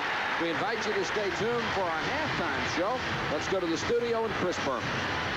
All right, Mike Patrick, thank you very much. And as they say, we now have a ball game. Somebody said that. Chicago leading the Minnesota Vikings 13 to 7. Halftime, the Bears lead the Vikings by 6, 13 to 7. We're talking to Ed Marinaro, who in 1971, a lot of people don't realize, was the runner-up to the Heisman Trophy behind Pat Sullivan. Lost by about 500 points. First of all, yesterday's voting. No, what? It's bothering you. Oh, I don't want to talk about All right, we're still going to talk about it. Okay. Tim Brown wins the Heisman Trophy. Do you think he deserved to win the Heisman Trophy? Absolutely. Okay. Did anything bother you about the way the balloting went? Well, what bothers me is the same thing that bothered me in 1971. I feel that, that when the people who vote for the Heisman Trophy, they pick the player who they feel has the most pro potential. Therefore, I don't think it is truly an award that goes to the outstanding college football player. As it turned out, you had the longer pro career than Pat Sullivan. Why didn't Ed Marinaro win the Heisman outright? Was it because there, were, there was bias in the balloting? Well, I, I, I feel that um, because I did play in the Ivy League and it's not recognized as a national powerhouse conference, that my uh, my accomplishments were, were not really were, were ignored. And I did everything that I could have done as a college football player. I set I don't know how many records, and uh, it just went unnoticed, unrecognized, and, and I'm mad. Even today. People don't realize this. No, seriously, before Dorsett, this was the all-time leading rusher in college football. Not honored, by the way, by the College Football Hall of Fame, I might add, Mr. Marinaro. Does that bother you? You've been snubbed. Uh, well, I, I, I think I'm eligible, and I know my name has been on the ballots the past couple of years. No, I'm not in the, the Hall of Fame yet, and uh, they better do it soon, or else Or- I'm not going to show up. Really? You don't you don't mean that, do you? Yeah, I do, Roy. Okay. Vikings going to come back in the second half? Didn't I tell you they were going to score right before the half? See, I know what I'm talking about. I might have been away from the game for a while. But I know what I'm talking about. We'll find out. Bears leading 13 to 7 here at halftime from the Metrodome. We'll come back with more right after this.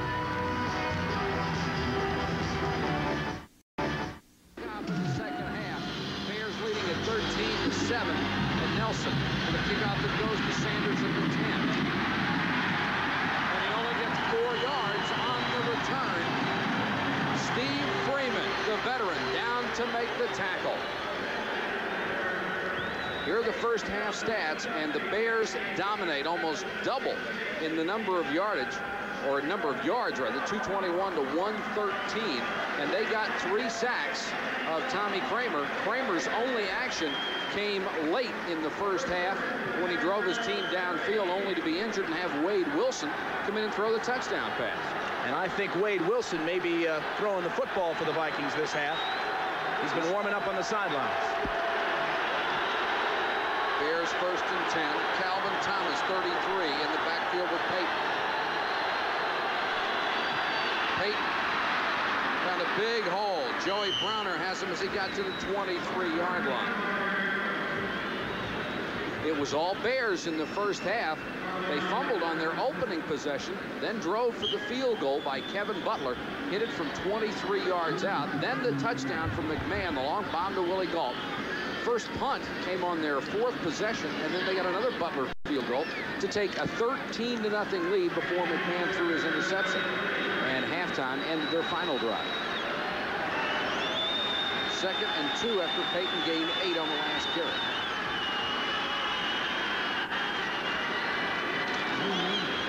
Payton again. Never been afraid of the tough yards. Got it out to the 25, maybe the 26. He's got the first down. Chris Doleman on the stop. Walter Payton has 23 Bear and eight NFL records. Among them, his 177th straight start, his 183rd straight game in the National Football League. Nine Pro Bowls in 13 seasons, eight NFL records. What a great career. 37 yards on eight carries tonight. He has not had a 100-yard game in a long, long time. It's been 15 straight games. McMahon wants it all for Gault. Gonna get him. And there will be There's a flag, flag. on this one. Lee on the coverage was all over Willie Gault. And the shame of it for Carl Lee is that he had caught Gault by the time the ball got there. The ball was underthrown, but uh, truly Gault had uh, Lee beaten like a drum by about three strides. Pass interference, defense, number 39, first down. It's a 47-yard penalty on Carl Lee on the interference. Well, you can't guard Willie Gault one-on-one. He, need- he needs more help. I, I think he did the only thing he could have done right there. It was a good tackle. Spotted at the Viking 29-yard line. Bears up by six, bidding for more as we start the third quarter. Anderson back in the ballgame along with Payton.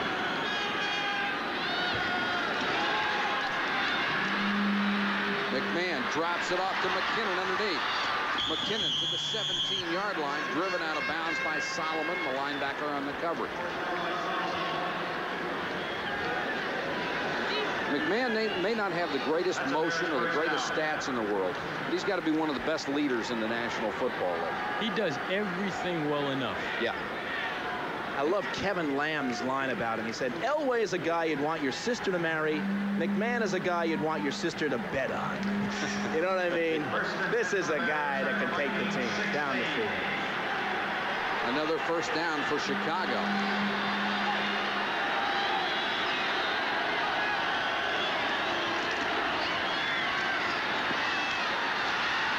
Caught at the goal line, touchdown, Willie Gault. He beat Carl Lee near the flag, and McMahon got it to him. And all Jerry Burns can do is shake his head. He's just getting open all day long. Talking about Willie Gault, a much improved football player in the last two years, too. Started coming on the end of last year. Just been all over the field tonight, beating Carl Lee. He had dropped balls. He's running better routes now. multi-talented athlete, Willie Gault. 19-7, Butler on for the point after. And he's perfect right down the pipe. 20 to 7, Chicago over Minnesota here in a rather quiet Metrodome, third quarter. ESPN's presentation of the National Football League is brought to you by the 1988 German-engineered Volkswagens and your Volkswagen dealers. And by True Value Hardware. It's more than our way of doing business. And by Allstate for home, auto, and life insurance. You're in good hands with Allstate. The Bears leading 20 to 7 to kick off. Guggemos at the goal line. Bears again do a pretty good job, but Guggemos fought his way this time out to the 28-yard line. 28-yard kickoff return. Maurice Douglas down on coverage, and Tommy Kramer on the sideline. Wade Wilson will open the second half at quarterback. Charles Wade Wilson. Call him CW, or Whiskey, if you will. Not the most elusive of quarterbacks out there, but he is a winner as well. By the way, Jim McMahon, we are now told, going to the locker room perhaps for x-rays on an injury. And we saw Harbaugh and Tomczak warming up on the sideline for the Bears. Quarterback shuffle tonight. Nelson with Anderson in front of him. Perry got a hand on him, and he goes at the 32-yard line. Vikings in the first half terribly ineffectual on offense, as you can see. And they were hurt by the missed field goal from Chuck Nelson. And the only time they did anything, their last possession of the first half, when Tommy Kramer drove them for a touchdown. And we are attempting to get a further medical update on Tommy Kramer. Went out with uh, what appeared to be a nerve problem in his neck or his shoulder near the end of the first half. Second and six. Love to establish something on the ground here. Nelson cut it back and gets it up to the 34-yard line. He'll be about four yards shy of a first down. Wilber Marshall on the stop. Yeah, I think Minnesota's going to have to get Darrin Nelson more involved in the game, um, particularly out of the backfield on, on, on in the passing game. Because you have to get him past the line of scrimmage, and, and those high percentage uh, passes. Are, Short stuff over the middle. Short stuff. Wilson has completed just over 50% of his passes this year in relief of Tommy Kramer. Third and four. Right here, watch this. And it's Nelson, and he was very close to having first down yardage. They'll mark it at the 40, and it is a first down. All right, here, Coach, Coach. Marinaro. Let's go. That's my old position. Doesn't pick up the big yardage, but gets enough yardage. That's all you need right here. Boom, you catch the ball. He's got the first down right there. He can't lose the first down. Wilber Marshall held him up until Singletary got there. And Darrin Nelson is 185 pounds with a couple of uh, very heavy weights in his pocket. 11 minutes to go, third quarter. Wilson rifles at the Carter. Beautiful. Look out. Oh, boy. Richardson.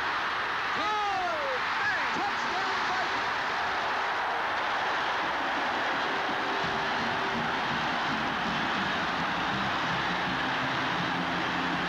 It's a real luxury having uh, a guy like Wilson who can come in off the bench and do something like that.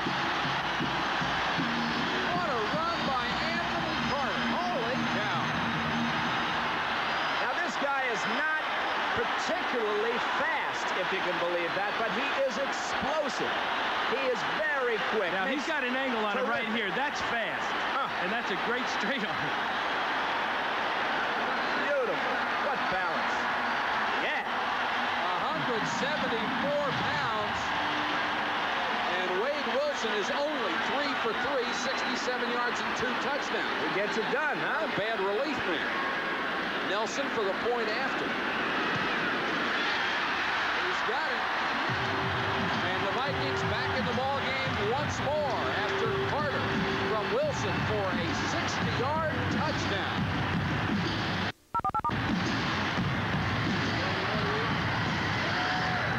The Metrodome have seen a World Series championship, and they're hungering for more in another sport as the Vikings have come back within six. The touchdown towels are out.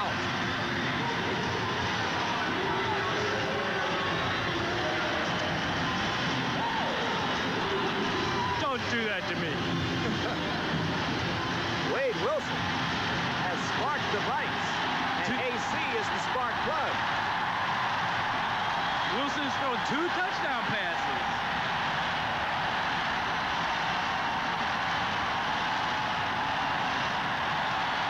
You don't think this gives you a home field advantage?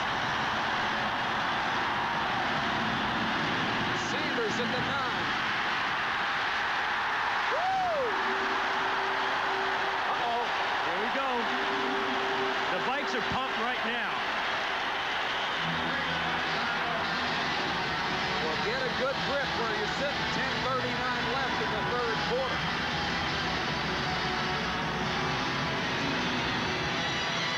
The Chicago Bears will take over at their own 20-yard line. And very important for Jim McMahon and the Bears to get something going on offense to take the crowd back out of it, something they had done in the first half. And important to note that McMahon is in fact back. He's in one piece and he's ready to go. Here's another guy who's been beaten up during this You career. bet. This is just what the Bears didn't want. Payton.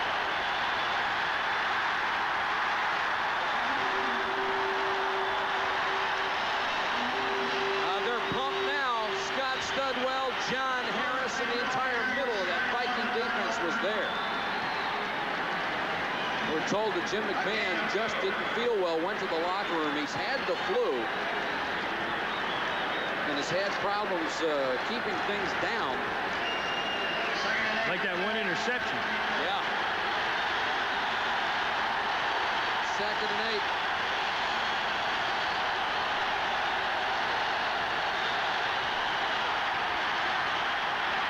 Drop. Ron Morris had it at the 32. Joey Browner was there, but Morris should have caught that ball. This ball just plain dropped, Ed. There's, this ball should have been caught. Browner right behind him.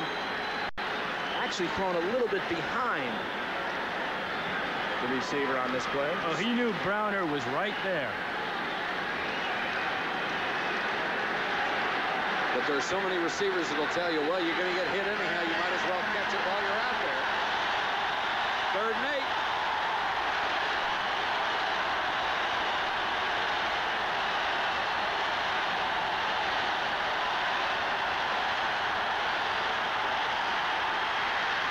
Got away from Doleman.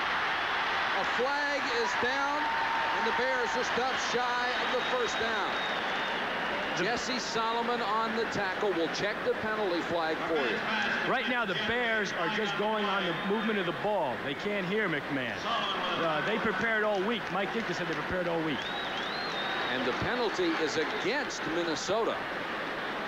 Big break for Chicago here.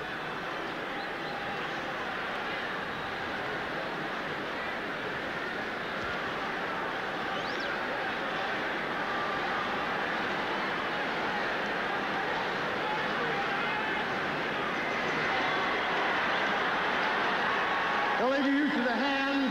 Defense, number 30, five yards, first down. Isaac Holt. That really hurts. Mm. Get all fired up to get the crowd behind you and get a penalty. Costs you. Automatic first down. Mm. Jerry Burns is talking to himself. What's he saying, Eddie? Not printable. Spot the ball at the 26, first and 10 Chicago. So they maintain possession instead of having to give it up on the punt.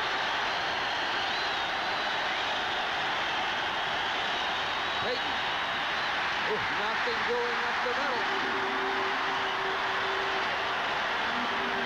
Thomas was there, and now we've got more pushing and shoving.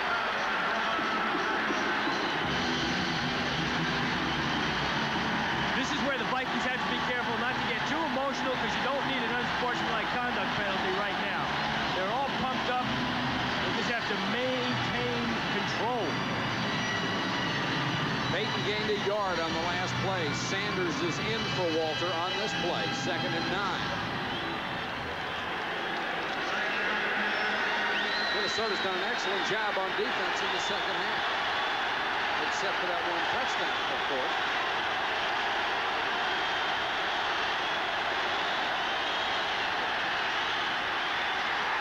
Contact and a flag. Isaac Holt will be called for interference as he came over the top of Dennis McKinnon. You are grimacing. You don't like that call, Ed? I don't know. He uh, he looked like he was going for the ball. He knocked that ball down. Pass interference. Defense number 30. First down. I'm not the only one who didn't like it. Well, you got 60,000 other folks in here who agree wholeheartedly with you. Bit partisan, though, Mr. Marinaro. You think so? Let's watch the call. Watch the play here. Over the Tough to top. tell from that angle, Over but the from the original angle we saw, he got there early, and McMahon helping out the officiating crew. So it's the second first down by penalty in this drive, which has reached the 37. Great protection. Boso tries for the leaping grab at the 48, can't come down with it. The Vikings playing without Keith Millard. Outstanding defensive lineman, and there is Isaac Holt. You talk about Millard. This guy uh, hasn't been charged with anything, but was involved in a fracas in a bar this past weekend. So many players on this Vikings team involved with the altercations involving policemen. Next year, I think the team picture will have to be photographed from the front and from the side. Ooh, a little cold there. Second and 10.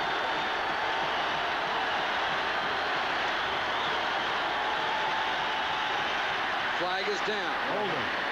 Through the hands of Neal Anderson.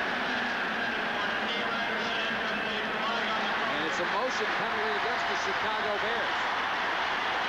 Which will probably be declined, bringing up a third and 10. Boy, is the crowd into it Oh, now. yeah. So are the officials. Yeah.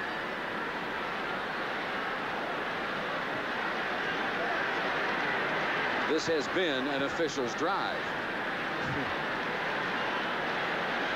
Illegal motion number 78 is declined. Third down. Keith Van Horn, the right tackle. Bears are all beat up along that offensive line. Van Horn playing with a bruised knee. Jay Hilgenberg playing with a whole shoulder harness and a bad elbow. Mark Bortz with a cracked rib. Paul Blair is in there because Jim Covert can't play at all. Third and 10. Oh! Anderson. This is a big play. And he fell down. Shy of the first down. They'll mark it at the 42. Joey Browner covered him. Two guys fell down. McMahon on getting the ball to Anderson. He stumbled for a few moments. And then Anderson, when he got the ball, had some more running room, and he stumbled. Look at that. He's got good blockers in front of him here. And watch, he tries to cut inside and just stumbles over his own feet. Anthony Carter waits at the 12-yard line for the punt of Bryan Wagner. Vikings putting Carter back there hoping for something big. Returnable kick. Look out!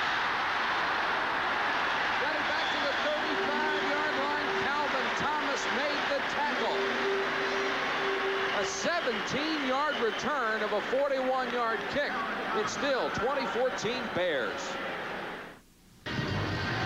Well, we said before that the Bears were scared to death of Anthony Carter. So far tonight, he's proven why. On this punt, he very nearly breaks it. A couple of good moves inside, and had he broken it up middle, would have gone all the way again. Just missed getting in there. That's frightening to watch from that angle.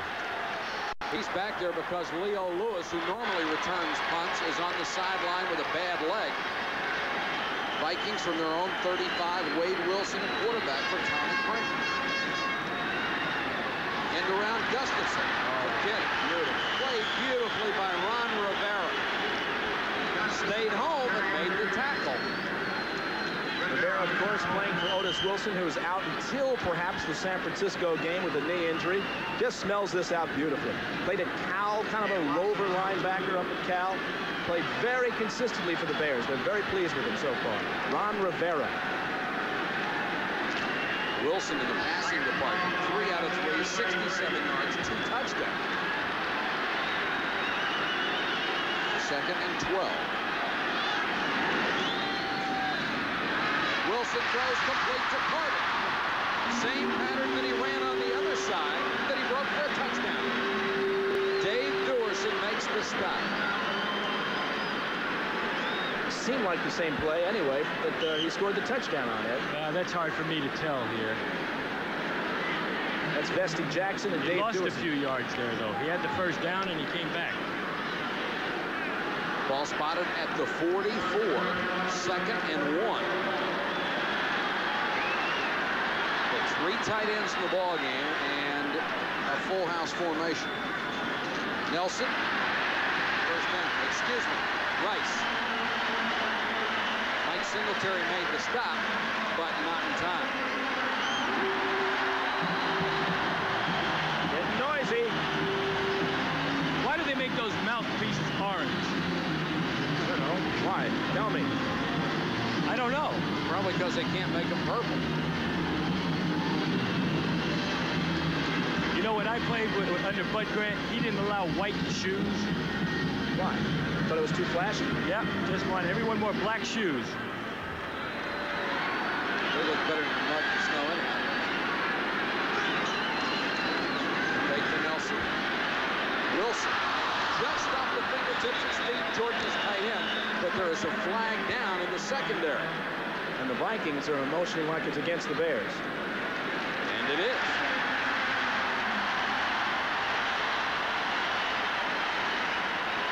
And of course, it's an unfortunate uh, injury Illegal situation. contact.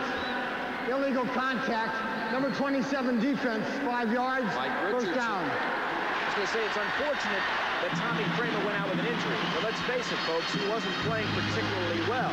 This gives the team a shot in the arm, Wade Wilson. He's playing very, very well. Well, unfortunately for Kramer, he was playing well just when he got injured. Right. I don't think the Vikings were playing well.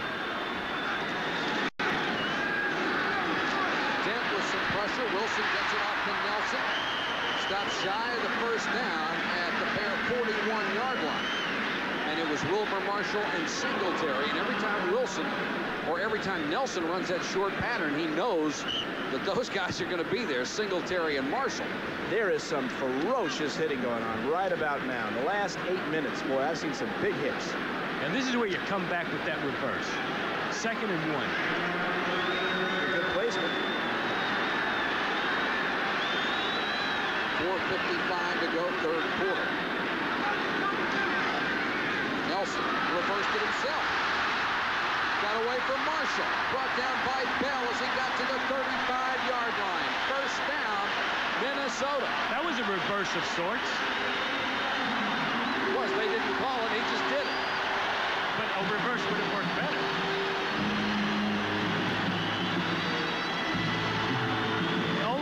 As quick as Nelson could, could do that. And Bo Jackson. Todd Bell, the strong safety, came up to make the stop. Mike Ditka had a meeting with him this week, or last week, and said he just wanted him playing hard. Bell has played well since that conversation. Comes the blitz. Great protection, throwing for Carter. Oh!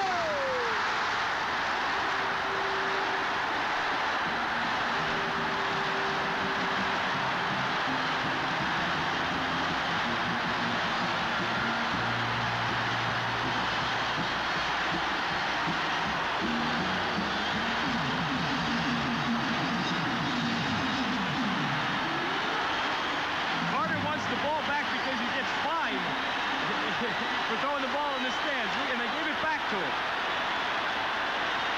I think somebody might have paid that one for him. Wade Wilson, six out of six, 121 yards, three touchdowns, and Anthony Carter has caught two of them. And you've got to give credit to that Minnesota offensive line. They picked up the blitz that time, and Wilson had all day to unload. And Chuck Nelson to give the Vikings the lead. He does.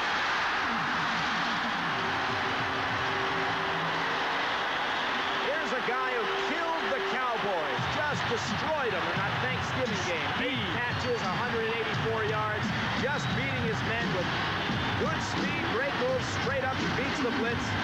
Here's Wade Wilson's reaction. Yeah.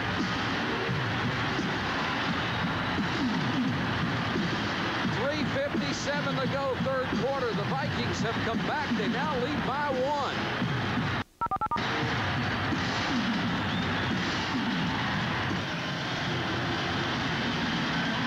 They have gotten in the spirit here in Minnesota. Welcome to the Roller Dome. And it's rocking and rolling right now as the Vikings have come from 13 points down to take a lead over Chicago.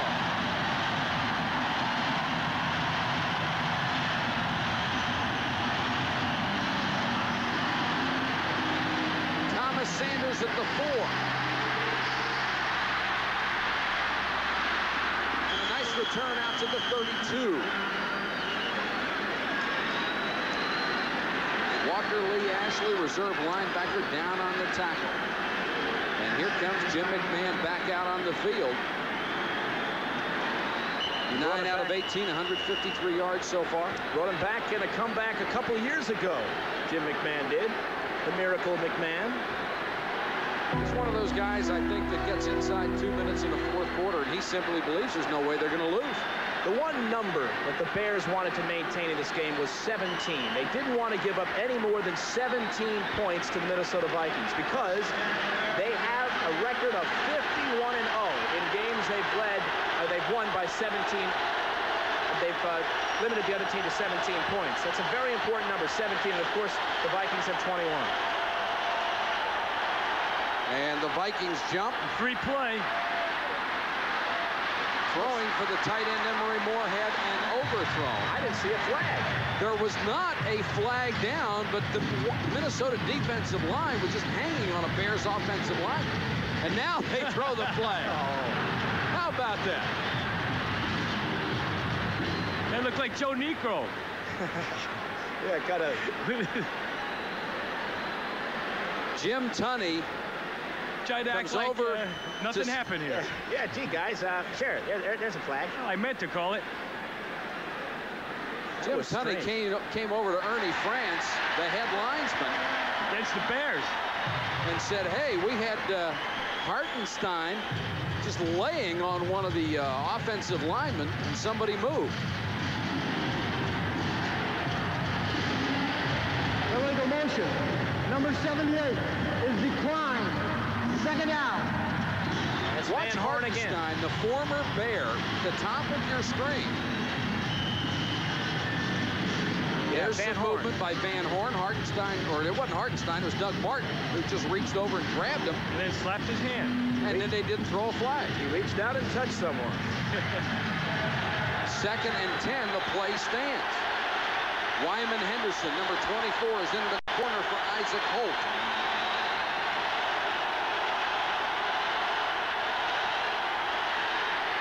McMahon under pressure, threw it away. There wasn't a soul out there, and the Vikings want intentional grounding. They're not going to get it. David Howard. Big pressure on McMahon here. He thought there should have been grounding here. See Doleman giving chase. Howard. Could have been a late hit there, Ed. Well, he didn't mean it, though. Look at that. He's apologizing right there to the official. What about the one-step rule? Whatever If you happened? apologize quickly enough, they don't call it. Third and 10. Big play for the Bears here. The Vikings have taken control of this game. Five defensive backs in from Minnesota.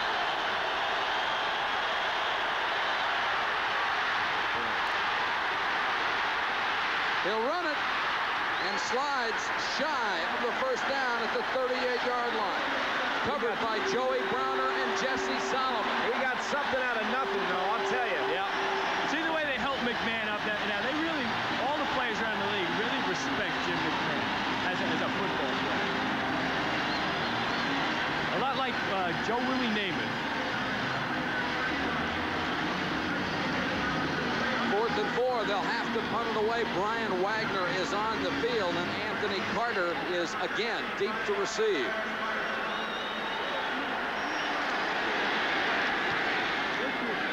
Another returnable kick. You can't get to it. Picked up on the bounce and paid the price. Two-yard return after a 44-yard kick. Gutsy play by Carter, but that's a good way to end your career. Rodenhauser, offensive tackle, offensive center on this play with the big hit here. Carter takes a little gamble. Actually, uh, that's no, that's actually 37. That's Maurice Douglas. Look worse than it was. ESPN's presentation of the NFL will continue next Sunday. Join us for game day at 11:30 Eastern. Chris Berman, Pete Axthelm, and Tom Jackson. They'll be back at 7 o'clock for NFL primetime. You get highlights of all the games in the league. And then Tom Jackson will be with us live from Denver for the Broncos and the Seahawks. Live from Seattle. Wilson, who hasn't missed a pass, gets it out to the 32 to Steve Jordan, a tight end. Ron Rivera made the tackle. Now Wilson's just been perfect, that's all. Seven out of seven, three touchdowns, 132 yards. He should go to Vegas. 2.18 to go, third period of play. The Vikings have really turned this one around. The Denver-Seattle game should match this one for intensity as well. Anderson on the. Up to about the 34. Steve McMichael on the stop. You just run down this list of Bear defensive players, and all you see, Pro Bowl, Pro Bowl, All-Pro, consensus All-Pro. And they're missing two great ones, too, Otis Wilson and Dan Hampton. Had Al Harris and Todd Bell back from a couple of years ago. Yep. They were out for contract uh, holdouts, of course. And they're all pros, too. Al Harris, particularly last week, two block kicks. There's a lot of that hold on, hold on stuff going around with.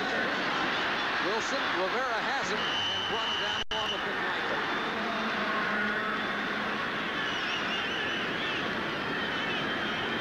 You know, speaking of uh, contract situation, this might be worth mentioning. The uh, tightest team in the NFL, we talked about the team with the highest payroll, the 49ers. Tightest team, without a doubt, is the Vikings. Agents have told me that historically, the salary scale 40% down from league average for the Minnesota Vikings. Yet the Vikes general manager Mike Lynn does make a million dollars a year. Should mention that as well. Technically, that last play was a sack, the fourth of the game for the Bears. And it's third and eight for Wade Wilson. He's got plenty in front of him. First down and out of bounds at midfield. Fine job by Wade Wilson. Couldn't find anybody to throw it to and land for 17. Wade Wilson, he could ask for a raise tonight. After this performance, huh? Look at this, a little scramble outside. Looks a little bit like Elway here. Uh-huh. Directing traffic as well. Hey, you go down here, you block for me, and I'll go out of the bounds here. Okay. By the way, Benny threw an excellent block for him to get him about five yards. It's a pretty big quarterback there. Time winding down, third quarter. Nelson with Anderson in front. And McMichael cut him down after a gain of a yard along with Al Harris. just to amplify the uh, contract situation with the Vikings, Viking payroll is about half the 49ers payroll, or it was a year ago. And the Raiders backfield alone, Marcus Allen, Bo Jackson, Marc Wilson, their payroll is almost one-third the entire Minnesota Vikings payroll. They don't pay here up, up here, folks. Did you feel that, Ed Marinaro? Did you feel that uh, you were getting, you know, nailed in the contract time? Talking to the wrong guy. Wilson throws, and that one should have been caught dropped by tight end Steve Jordan. Somehow he fit that one in there.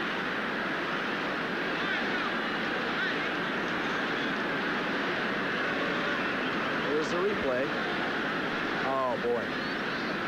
I don't think Jordan believed that ball could have possibly reached him. Jordan, by the way, who's been an All-Pro in years past, is not having an All-Pro season. But he doesn't have to worry about the money. He's an engineer in the offseason. Fellow Ivy Leaguer. Brown, The Bears have their nickel package in on defense. They made some changes now a couple of weeks ago. It's been a lot better. Wilson hit it this time. Down to the 15-yard line, Hassan Jones for 33 yards. Hassan Jones hadn't caught a pass in two weeks. Caught a big one just now. We've got 15 minutes of football to go, and Wade Wilson has led the Vikings from behind. They're up by one. After three quarters, you could feel the momentum change to the Minnesota Vikings. They were down at one point 31. After three quarters, you could feel the momentum change to the Minnesota Vikings. They were down at one point 13 nothing. They now lead 21-20. And momentum, Ed, is one thing you can't measure in statistics or anything else. It just exists. It never seems to stay with the same team the entire game, and uh, I, you know, you just sort of feel it that the Vikings were gonna, something was gonna happen, Yeah. and that score at the end of the first uh, half, that was exactly what they needed. Wade Wilson is exactly what they needed. He turned them all around. But he's playing a great ball game. Watch this catch here from Hassan Jones.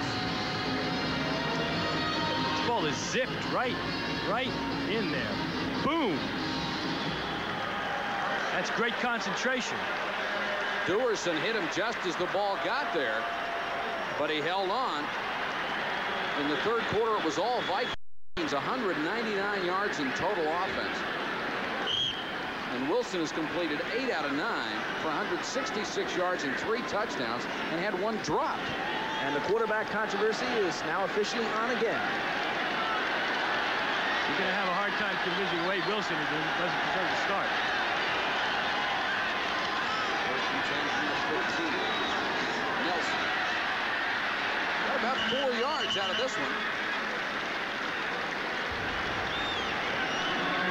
It's a tough little guy, Steve McMichael on the stop.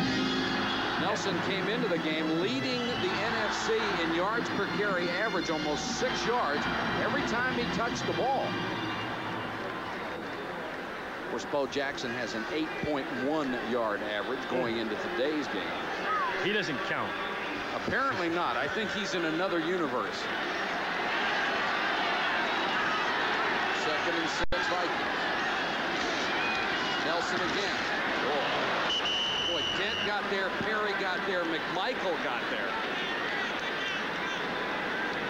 See, this is going to happen to, to Darrin Nelson. He's not a big back, but that it, it- you, you accept that part about it. But eh, you know, any moment he's going to pop one. Yep. He's so dangerous. They can't find him inside because of his size.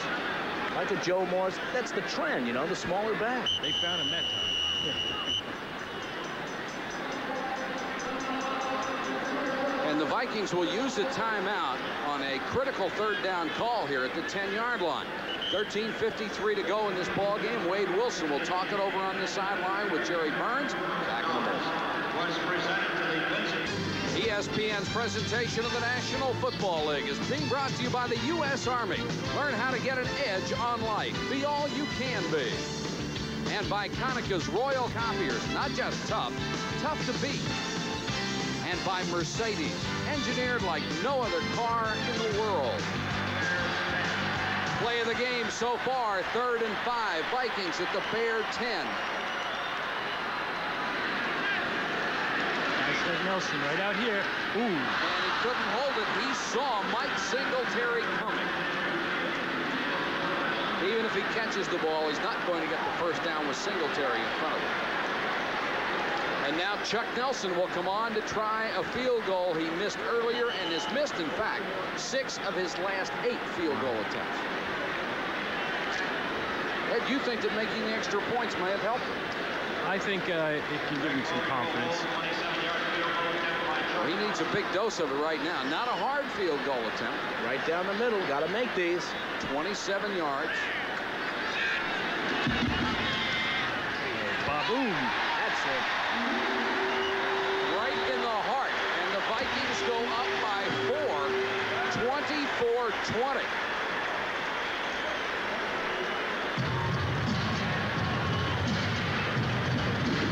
Look at Jerry's reaction here. Come on, get in.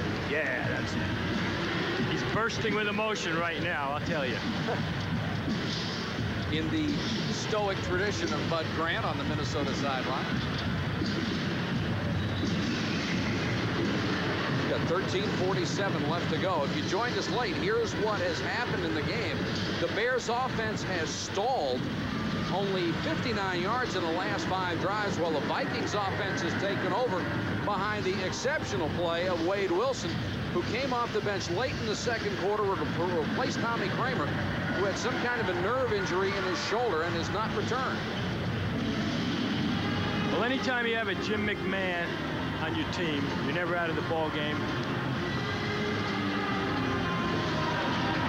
McMahon has done it so many times, bringing the Bears from behind.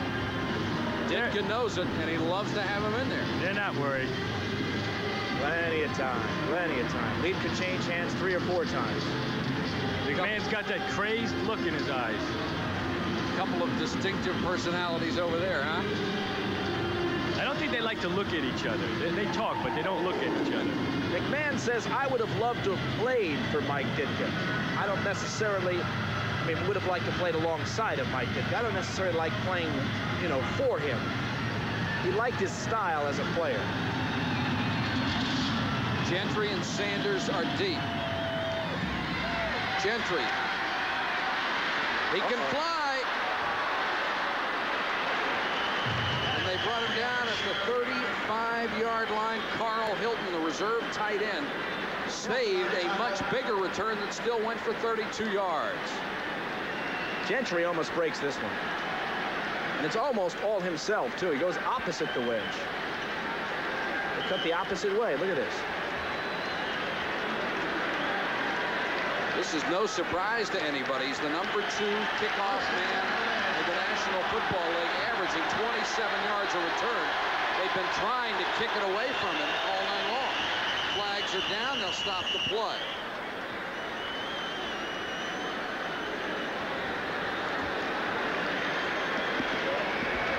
Start.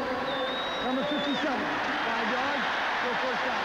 And that's Tom Thayer, the right guard. I wonder what he's going to talk about on his radio show tomorrow.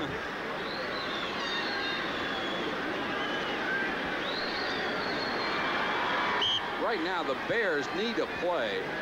And there's the Viking, who does not look quite right in a dome. Look, you know, you need that frozen beard, you know? Look, he's wearing Bermuda shorts.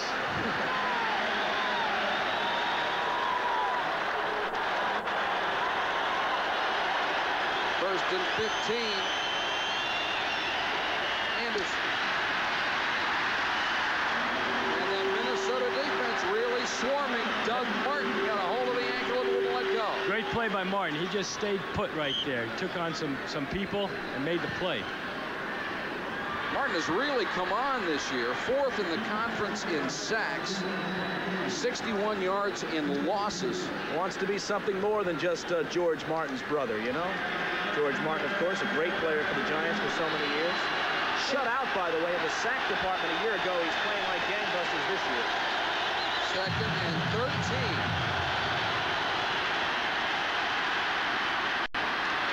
McKinnon, what a catch. Lee right with him, but he's in Minnesota territory, a 20-yard gain. Now, this is where it takes real courage. You know, going over the middle, watching the ball all the way inside, taking a hit, leaping, this is a real major league catch. Right there, he was saying this could hurt, and right here, he's saying I was right. Looked like even a face guard too at the bottom of that play. Big night for him. Mike liked that catch too. Dennis McKinnon never afraid to tell you what he's thinking.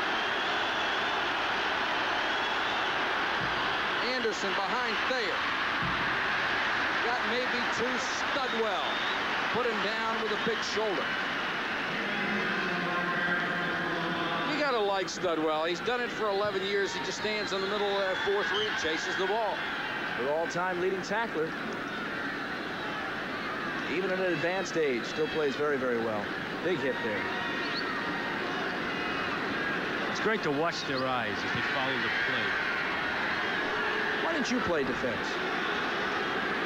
It's a good question. I'd rather not answer that right now. Balls at the 47, second and eight. Martin got a real quick start and now gets the sack.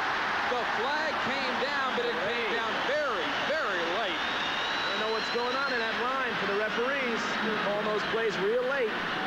Flag came down six or seven seconds after the play started. I think he threw the flag so high, it looked like this. The play was ruled dead. False start.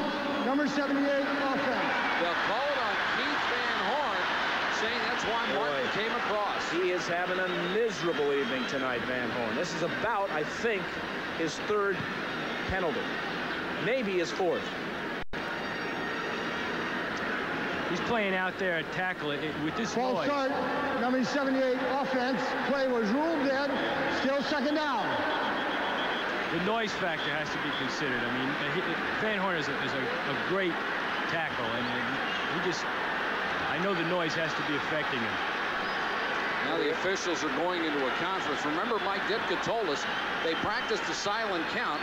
So once they get set, everybody's got to count in their own heads. 1,001, 1,002. Let me tell you something. And there is an unsportsmanlike conduct call made against the Bears. That'll cost them 15. We made light of it at the top about how Mike Ditka hates playing in the domes because he doesn't think it befits football. The real reason he doesn't like playing in the dome is because of the noise. Let's face it, this football team can't get on track. They've got a lot of offsides tonight, a lot of false starts. That's what's killing them. And we don't know why there was an unsportsmanlike call. Mike Hartenstine is into the ball game on the Minnesota defensive line. A Bear for 12 years in second and 28.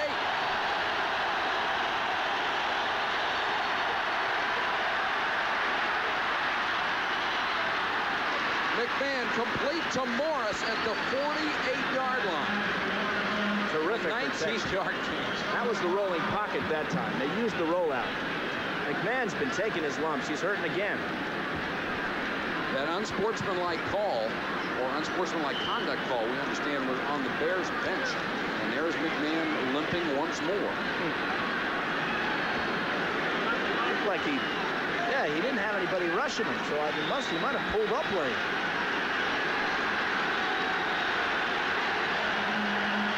Third and nine. Mike Tomczak, the backup quarterback, with the hat on. Blitz. And McMahon will run for it. Diving for the first down stick. Let's see where they mark it. A flag is down. We're going to have a piling on, perhaps. I don't know about that one. I don't know. Eight-yard gain for McMahon. You see the official pointing at his head. That's going to be a spearing call. We got a player down. Wymon Henderson went in there for McMahon, and boy, this is a tough call to make. McMahon was diving headfirst, so was Henderson trying to stop him from getting to that sideline. This is a crucial call. Turning point call. Number 24, unnecessary roughness, first down. Well, it was tough to see from our angle. The reverse angle, we ought to be able to see it perfectly. McMahon going for the sticks. No, I, I don't agree with that. He's he's playing football right there. He's trying to stop his forward motion. That was a that's that's a bad call. I think. And that was in slow motion. If you run it back in regular speed, it's bang, bang. And speaking of bang. and he's bang, not even hitting him with his helmet. That's with the shoulder. That's with speaking the of shoulder. bang bang, gentlemen, uh, Mr. McMahon is in serious pain at midfield. He is down. Now here's the regular speed. Look how quickly it happens. I don't see how you can call it. Check out McMahon. That's a gut. That was a gutsy play by McMahon. Wasn't it? He's so tough. Mike Tomczak, who was ready, will come in. And of course, they're doing everything they can to protect the quarterback. But once you leave the pocket, you don't get that protection. You're the same as anybody else. And they're telling us that Jim McMahon has a pulled hamstring. That's why he's limping. He doesn't like it. But Wymon Henderson got there a split second after Jim McMahon was diving for the sticks. I was just saying he doesn't like what somebody just said to him, the Minnesota side. He was just pointing at somebody and saying something back. Boy, so Mike Tomczak, the three-year man out of Ohio State, comes into the ball game. So we have two backup quarterbacks in there now. The numbers on Tomczak. His mechanics so much better than a year ago.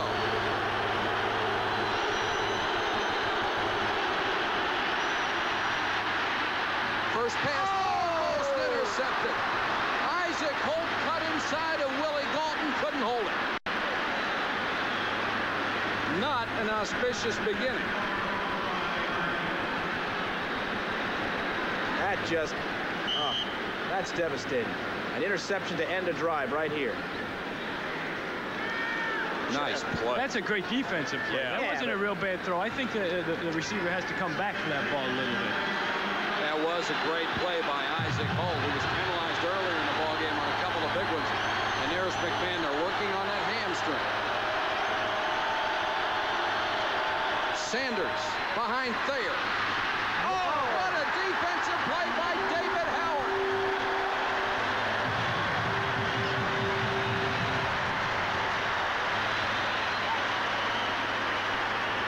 It's hard to look in his eyes. In the USFL, this guy was known as the poor man's Lawrence Taylor. Has played very, very well. Right Look at this. Blocked and makes the play. Gorgeous.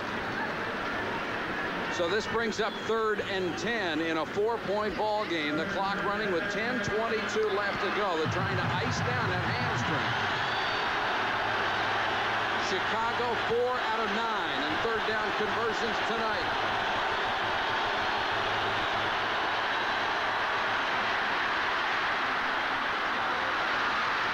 First down, Bears, as they hit Dennis Gentry for 14 yards. He stayed with this catch all the way. Bobbled it. Great concentration.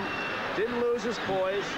On the run. Nice play by Tomczak here. Rolling out downfield. Watch it. Stays with it. Carries it in. First and 10. Bears down 24-20. What a ball game this has been. Yes, indeed.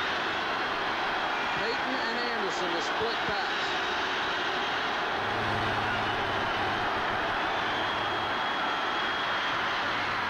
Incomplete in the end zone intended for Morris. He wanted a flag, but he won't get it. Terrific coverage. Double coverage, too, on Morris.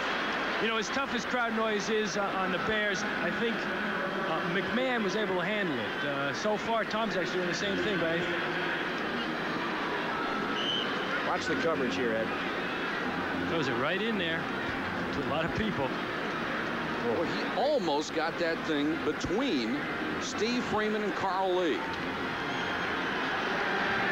Second and 10.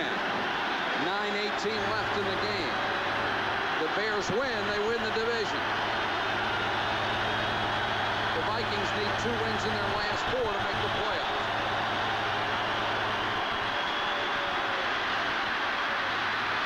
Tomczak incomplete. Too high for Cap Boso, the tight end. And Boso was open. He was. Joey Browner, the closest man to him. And now Browner coming up slowly. Tomczak gets the word from Mike Ditka. That ball looked like a, a, a hockey puck going off the glass. Boy, Joey Browner's played hurt tonight.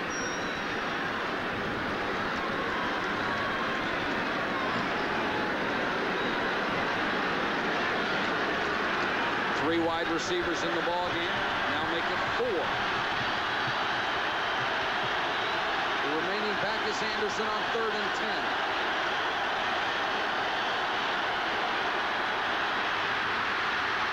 Tomczak got rid of it to Anderson. And Anderson brought down at the five. Joey Browner. And I think they will rule Tomczak was in the grasp and control of a defender before he threw the ball. If they do, it goes as a minus one yard sack. That was a great athletic move by Tomczak. Yeah. Trying to make Stafford it work. Mays was the guy who got it. This was a draw. This is a quarterback draw. Look at that. I think he was just down. Yeah. Kevin Butler, who has made 13 in a row, including two tonight, will try from 30 yards. 14 straight for Kevin Butler. And the Chicago Bears, with an impressive drive, have cut the lead to one with 8.51 to play.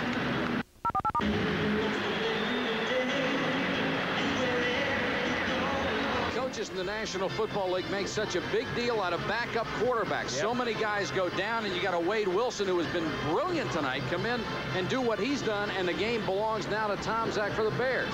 And timing being such an important factor, it's got to affect the rhythm of the game when those guys come in, and yet it hasn't appeared as though it did. especially since the starter gets most of the work during the week.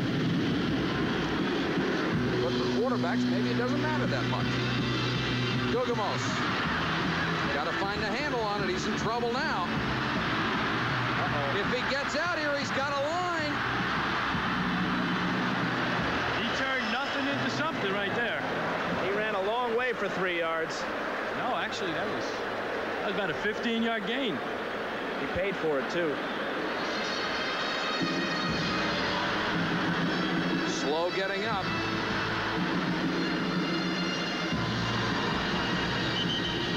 And he's holding that right thigh. 8.36 to go in the ball game.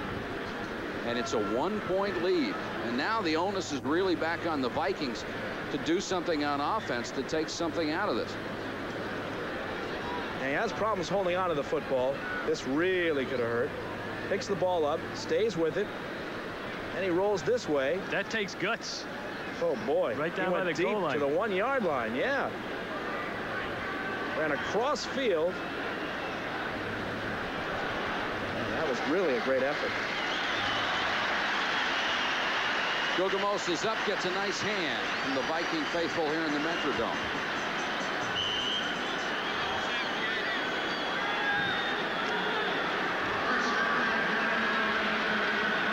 It's a nice start for Jerry Burns and the Vikings.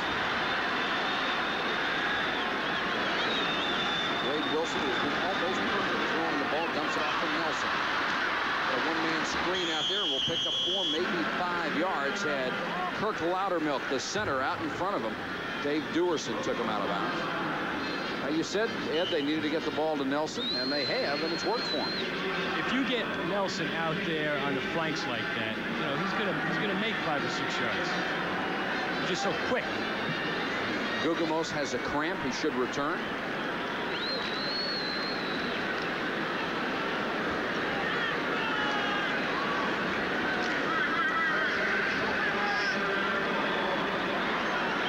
See, Wilson has really had some success.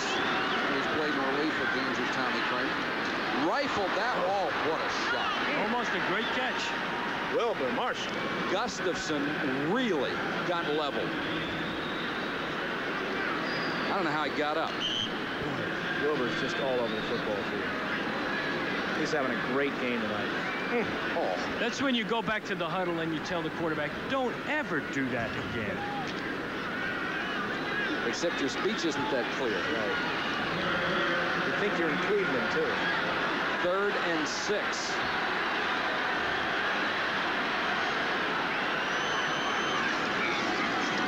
Fake to delay defender. And throw for the first down to the tight end, Steve Jordan. Ron Rivera made the tackle, but a big play for the Vikings. 14 yards, and they keep the drive alive.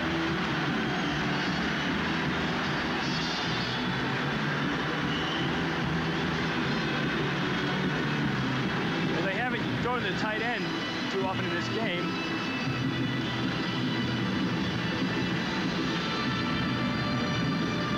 First down. Wade Wilson, in a quarter and a half, has thrown for 184 yards on 10 out of 13. And we are told that uh, it is more than likely that Jim McMahon will not be back in the ball game with that hamstring injury. Nelson. Oh, Perry got there before anybody, almost took his head off and then got help. The guy at 300 and whatever can really explode off the line.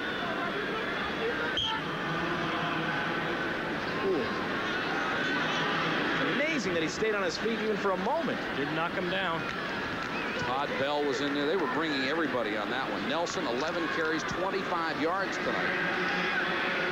Remember, he came in leading the NFC at 5.9 yards a carry. He's averaging 2.3 tonight against this Bear defense. Wilson with a quick toss out to Jordan. Duerson rides him down at the 44. He's going to bring up a third and about five. Very key series here in terms of the clock. If they can hold on to the football, move deliberately downfield, take 10, 12, 14 plays downfield, and score, they'll not only get the touchdown, they'll have eaten a large piece of that clock up and could make the difference. Right now, a field goal is what they need. But then the uh, Bears will have to score a touchdown. Six and a half minutes left. Vikings 8 out of 15 on third down tonight. This is the biggest one they've had so far. Nelson, ooh! And Wilson threw it, that one behind it. That one hurt. They hate to give this one up, Mike. And plenty of time left too, Roy. 6.19 to go in the game. And Wilson knew he had him and missed him. Hmm. Yeah. He would like to have that one back. And he's looking at Darrin Nelson like he might have turned the wrong way on the pattern. Coleman to punt. Bears show a 10-man front. Dennis McKinnon, the fourth best punt returner in the NFL, is standing at his 12. Low line drive by Coleman again gets the big bounce. And McKinnon dropped at the 11-yard line. Joey Browner. Well, they told us he's the best punt coverage man in the entire National Football League. And he's not too happy about that. He doesn't like playing on that Yeah. special team. Wants to be paid for it, right? Here he is going downfield. I don't blame him either. Look at that. From out of bounds. Goes downfield. Makes the play. Right there. Joey Browner, number 47. We'll come back with more after this. 6-10 to go in the ball game. Chicago down by a point. They have the football at their own 11. Mike Tomczak, the Chicago quarterback for the injured Jim McMahon. Goal! That's the Minnesota play. football. That's the play.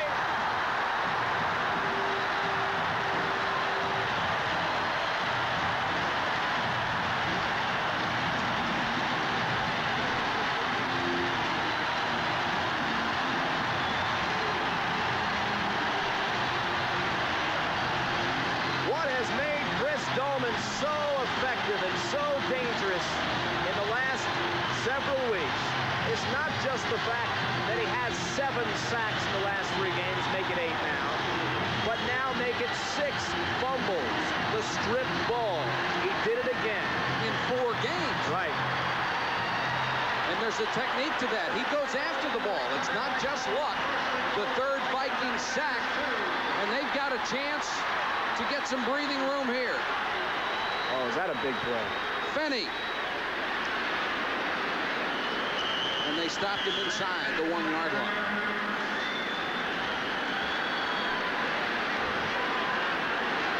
Chris Doleman. Yeah, you're all pro, buddy. You got that right. He is tonight, anyway. He should be for the season. Certainly has been since the strike. Wow. From York, Pennsylvania. Told us to say hi to everybody up in York, PA. That's where they make the barbells. Second and goal. Fenney. No signal. Singletary made sure he didn't get in there after Todd Bell hit him. Rivera also in there. Bill tried to strip the ball. Jerry Burns wants to know how far away they are.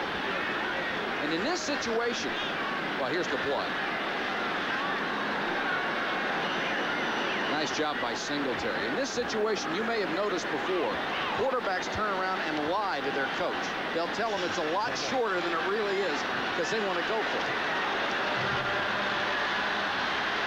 Third and half a yard.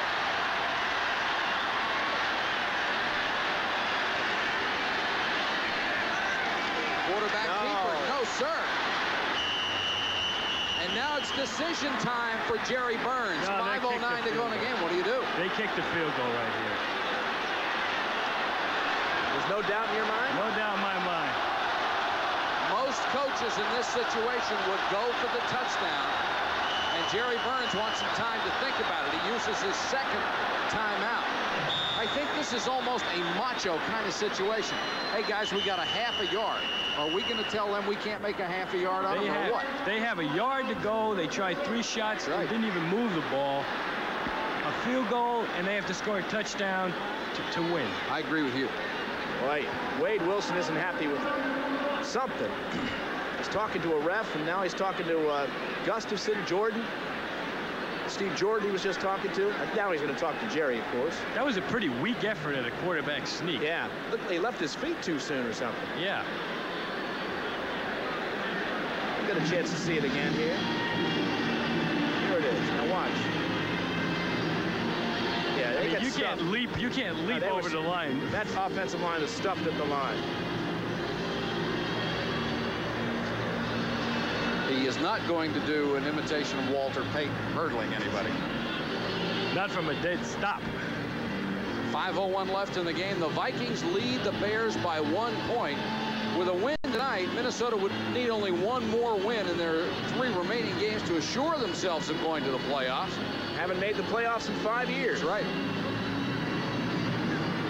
You have to be happy for Jerry Burns, who has really done quite a job in the last two years. They had the debacle of Les Steckel coming in here as Oh, the yeah. head coach. The team really fell flat at that point.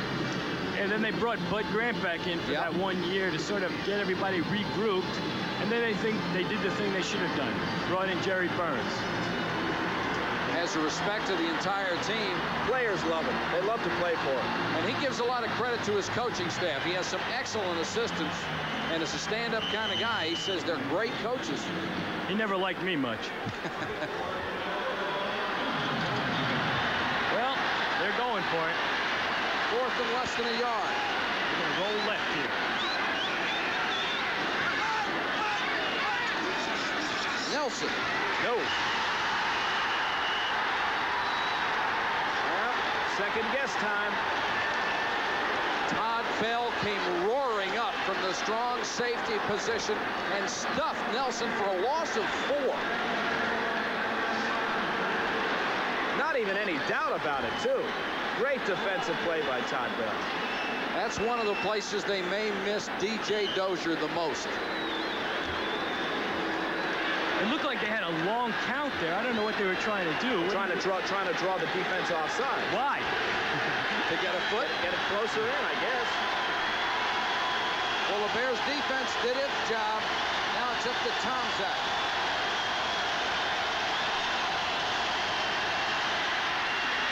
Great blocking.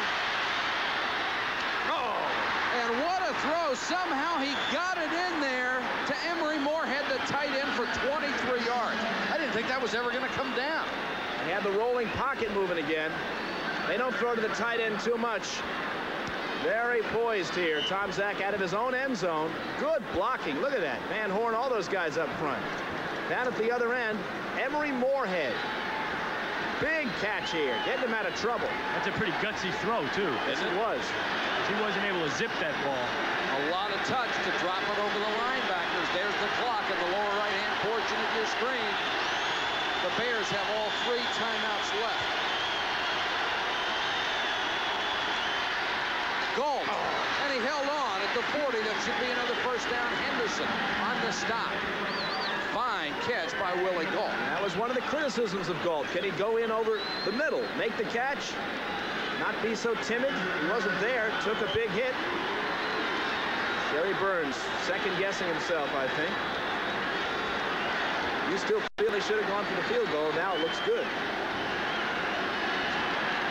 And I'm not a coach. If Kevin Butler becomes a factor, he's the hottest kicker in the National Football League.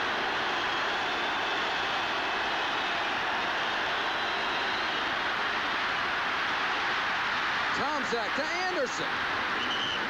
Great job by Tomczak. Kept his cool in the pocket, got it off Studwell, made the tackle. A lot of pressure on this play.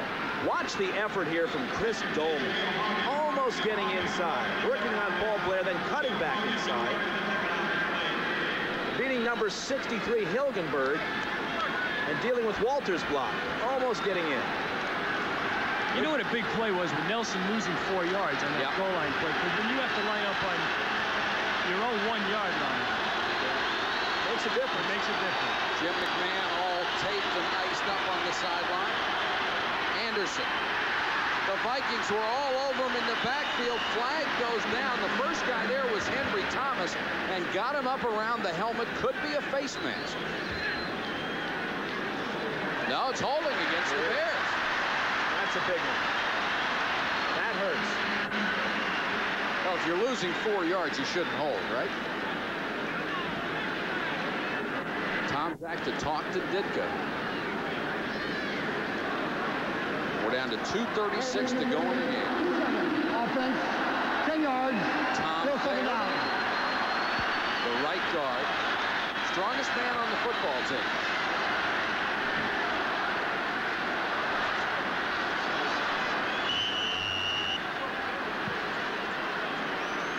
No, that's around. Uh, a face mask play there. No, he had him around the neck. That's legal. Grabbing around the neck. Second and 14, Chicago.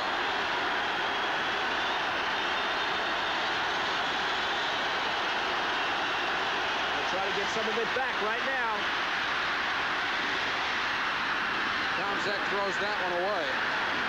Nice catch by Butler. Now this is the play of the game right here. Coming up. Third and 14. What do you call here, Eddie? Uh, well, what I would try to do is get the ball underneath to uh, somebody like Walter Payton and um, let him get the first down. You got to throw underneath because Short stuff, high short stuff, stuff. and let, but let the running back uh, Do the job. do the job, right? Be a more Thank you. comfortable call for Tomczak, wouldn't it? Yeah, and for Ditka also. Third and 14, 210 left. Bears down by one.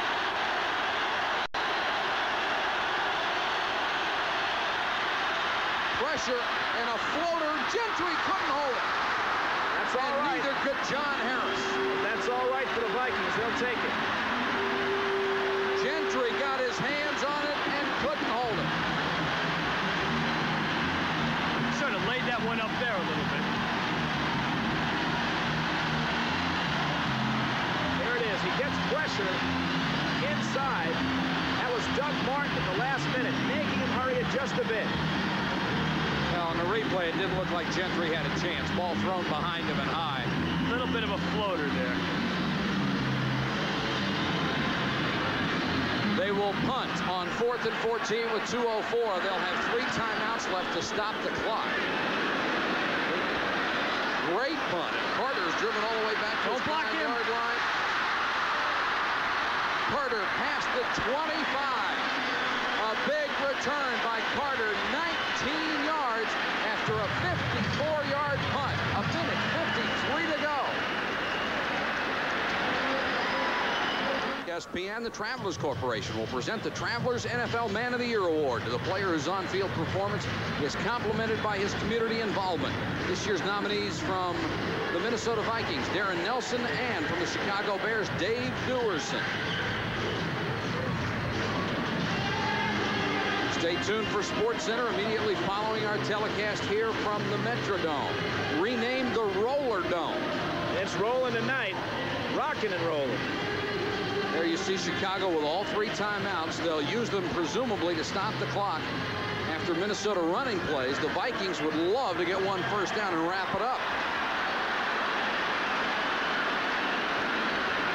Nelson and Anderson, the running backs in the eye. Nelson. Now, Rivera in on the stop. We got a couple, and they'll use a timeout. And this is why this game is so big. As you take a look at the standings, Chicago on top with a two-game lead. Minnesota could cut that margin to one. It is a two-way race. Chicago, of course, with a win, would wrap up the Central Division for the fourth time in the 80s. No other team has won its division four times in this decade. The other part of that equation is the rest of the schedule for the Bears. Mm -hmm. They still have to play the 49ers, the Seahawks, and the Raiders. Conversely, the Vikings, while no game is, is, is a sure thing, have the lighter schedule. I don't know. The Packers look pretty tough today. Didn't they? But look at it. Green Bay, Detroit, Washington at home. It's a lot easier than what they're having to do. Yeah, Bears. That's kind of scary, though, when you're playing teams that have really nothing to lose. Right. You saw that in Seattle when they played the, uh, Raiders. the Raiders. Yep. Hey, what'd you think of Bo Jackson's performance on that Monday night game? Is that unbelievable? I found it somewhat depressing. Um, Why? Because I always used to dream about being in the clear, seeing no one in front of me, and knowing that I, I was going to score. And that's exactly how he feels. He's awesome. Second and seven, Minnesota. The Bears can stop the clock two more times.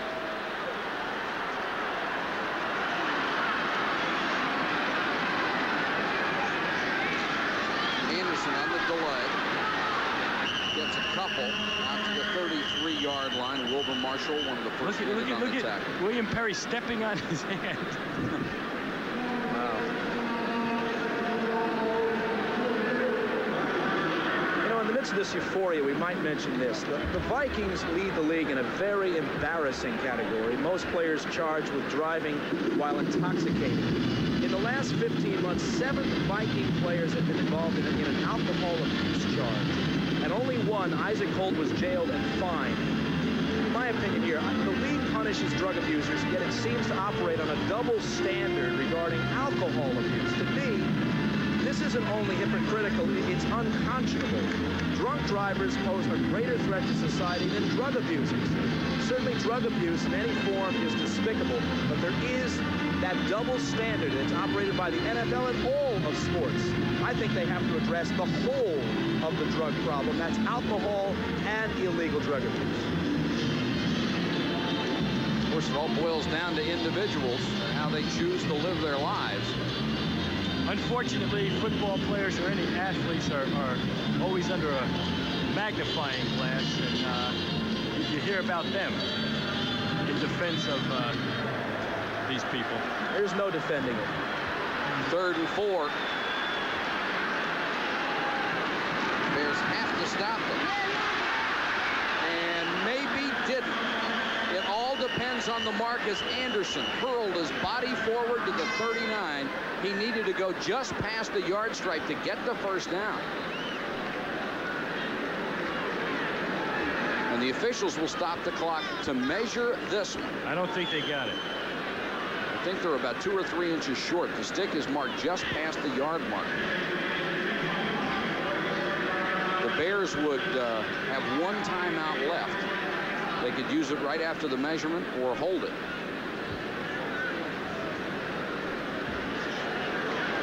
And it is short, less than the length of a football. Now this is an extremely crucial play. Possession play, the key play of this football game. And the pressure is on Greg Coleman, whose last three or four have been low-line drives that only went about 25 yards in the air. You send you send the team in there to block this now?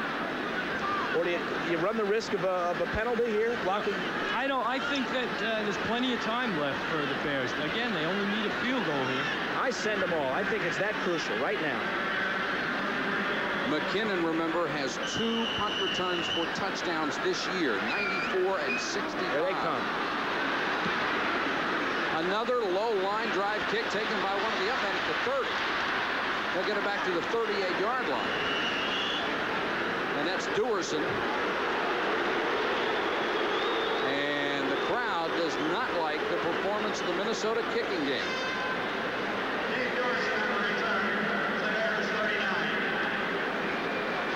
Neither does Mr. Coleman. No, Greg's not happy about it at all. He's a much better kicker than that. And the There Vikings didn't take any time Wow. off that clock. Mm. They kicked it with 27 seconds left on the 30-second clock. Bears have one timeout. It's a big one. Last chance for Tomczak. Anderson, big hole. Look out. Jesse Solomon ran him out of bounds at the 42-yard line. And it took only nine seconds off the clock. And he stopped the clock. 20-yard gain for the second-year man out of the University of Florida. Great He's balance. tough. Oh, That's a big play right there. eluding Joey Browner. Fabulous. Great, great effort. Kevin Butler waits on the sideline. He beat the Packers earlier this year with no time on the clock. Tomczak incomplete from McKinnon, Wymon, Henderson on the coverage. And McKinnon was open. And Ditka Ditka really upset at his quarterback. He knows it. Oh, they've got to get about 10, 15 yards upfield. Here's Ditka's react. Come on, Mike, let's go.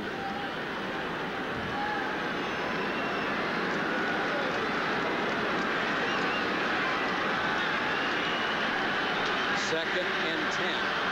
From the Viking 41. Four wide receivers. Anderson alone back. Gentry gets it down to the 38-yard line. You see, I think that's a mistake Ditka, to, to do that to Tomczak in this situation. Why? Because, I mean, the guy, it, it, the last thing he needs is to, to uh, see his coach screaming at him because he, he might have thrown the ball in the wrong place.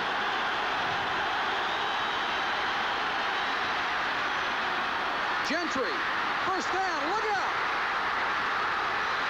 There it is. Touchdown Bears!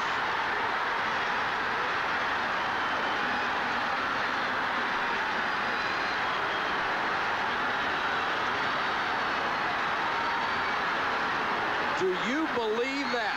Gentry broke a tackle, set sail, and nobody could knock him down.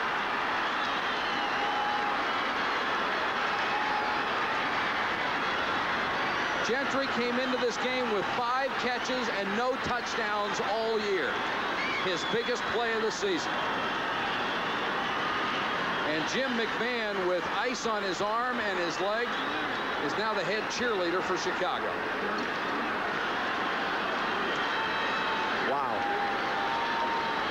What an effort. Tomczak's stock sure went up. That was just a great play. Butler for the point after to make it a six-point game. A great game, too.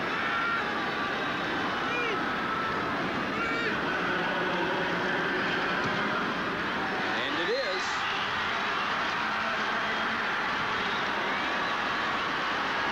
Watch Gentry. He gets the credit on this one. A great individual effort.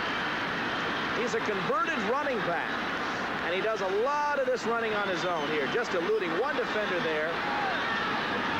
Great piece of running here. Breaking another tackle there, going on in.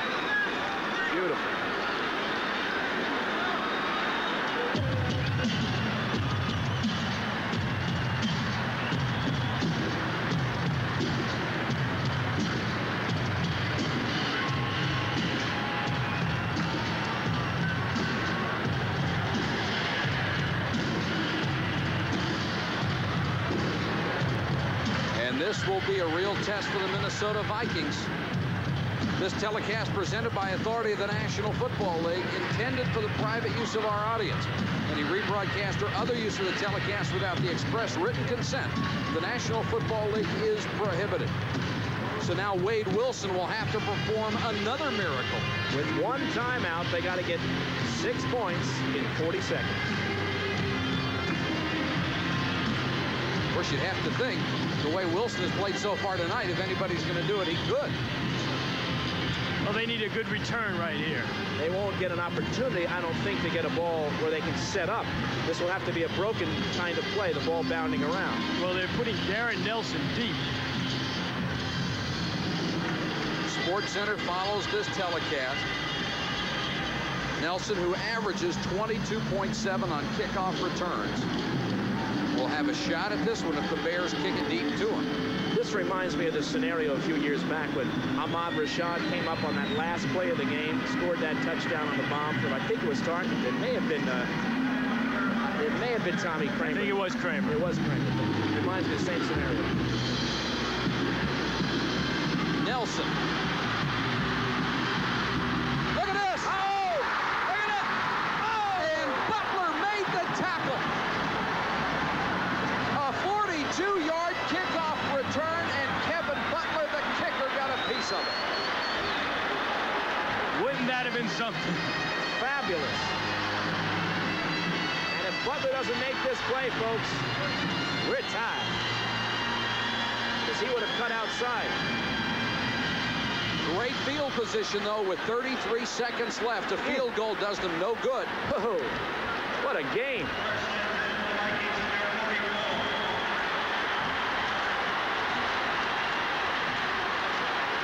Three wide receivers and the shotgun. Dent with the pressure, and they got there. Dent paused it, and Al Harris got the sack along with McMichael. That will temporarily stop the clock. And Al Harris might get another 100 bucks from McKinnon. Fifth sack of the game. And This Minnesota uses its last timeout. That's Dent really forcing the play. And Harris cleaning up. Well, the Vikings are in a tough position now with 28 seconds left, no timeouts. Seems stranger things happen. The clock will stop on first downs to move the chains, but that's all. What about trickery stuff? Hook and ladder plays, you know? Nah. Of course, it might be as good as anything at this point. I think they're just going to have to use the sidelines here. Get as much as they can. Got 62 yards to go in 28 seconds. Wilson has performed brilliantly coming in after Kramer was injured.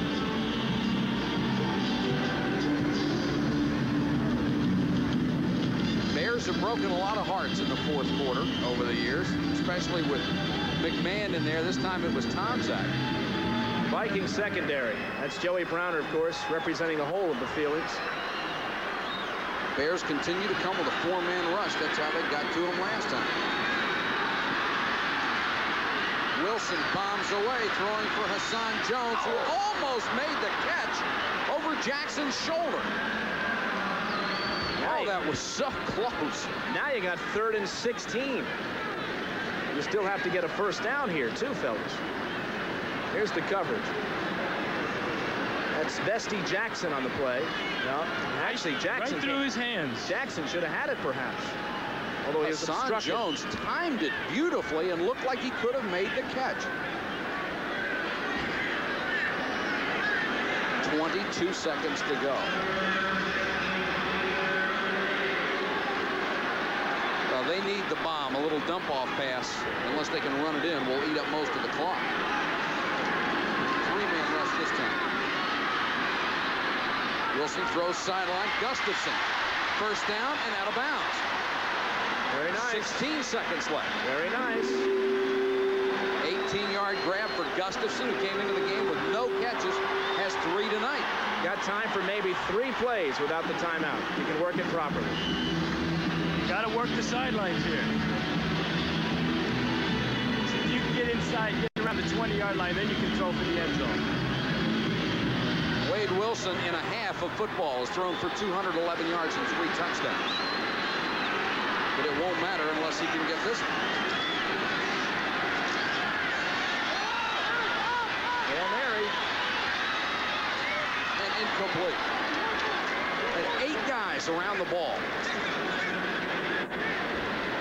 Including Anthony Carter and Leo Lewis. I thought I saw Ahmad Rashad in there somewhere. Here it is. You're just hoping for a break, you know, ball bouncing off somebody else. You, know, you see the way they shield it, though? They really keep their eye on where they are on the field. Hassan Jones 84 and Duerson playing center field. That took eight seconds off the clock, and there are eight seconds left. That's not a very happy camper right there. No.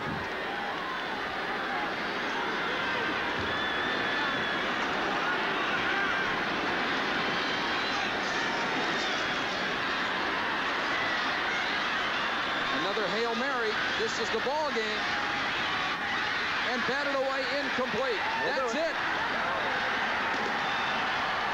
The Chicago Bears, after blowing a 13-point lead, come back in the fourth quarter behind substitute quarterback Mike Tomczak and get a 35-yard touchdown pass to Dennis Gentry and the Bears for the fourth time in the decade of the 80s have won the NFC Central and now the Vikings still need two wins in their last three games to make the playoffs in 1987. Here it is, the last play of the game. Never any question.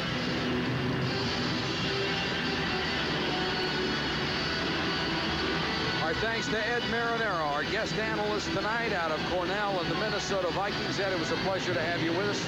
Hope we'll get you back sometime. I hope so. I had a great time, guys. Thanks, Eddie. Our final score here at the Metrodome.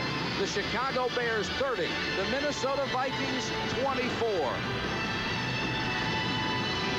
On behalf of all of our ESPN crew, Ed Marinaro and Roy Firestone, this is Mike Patrick saying so long from Minnesota. Let's go to SportsCenter.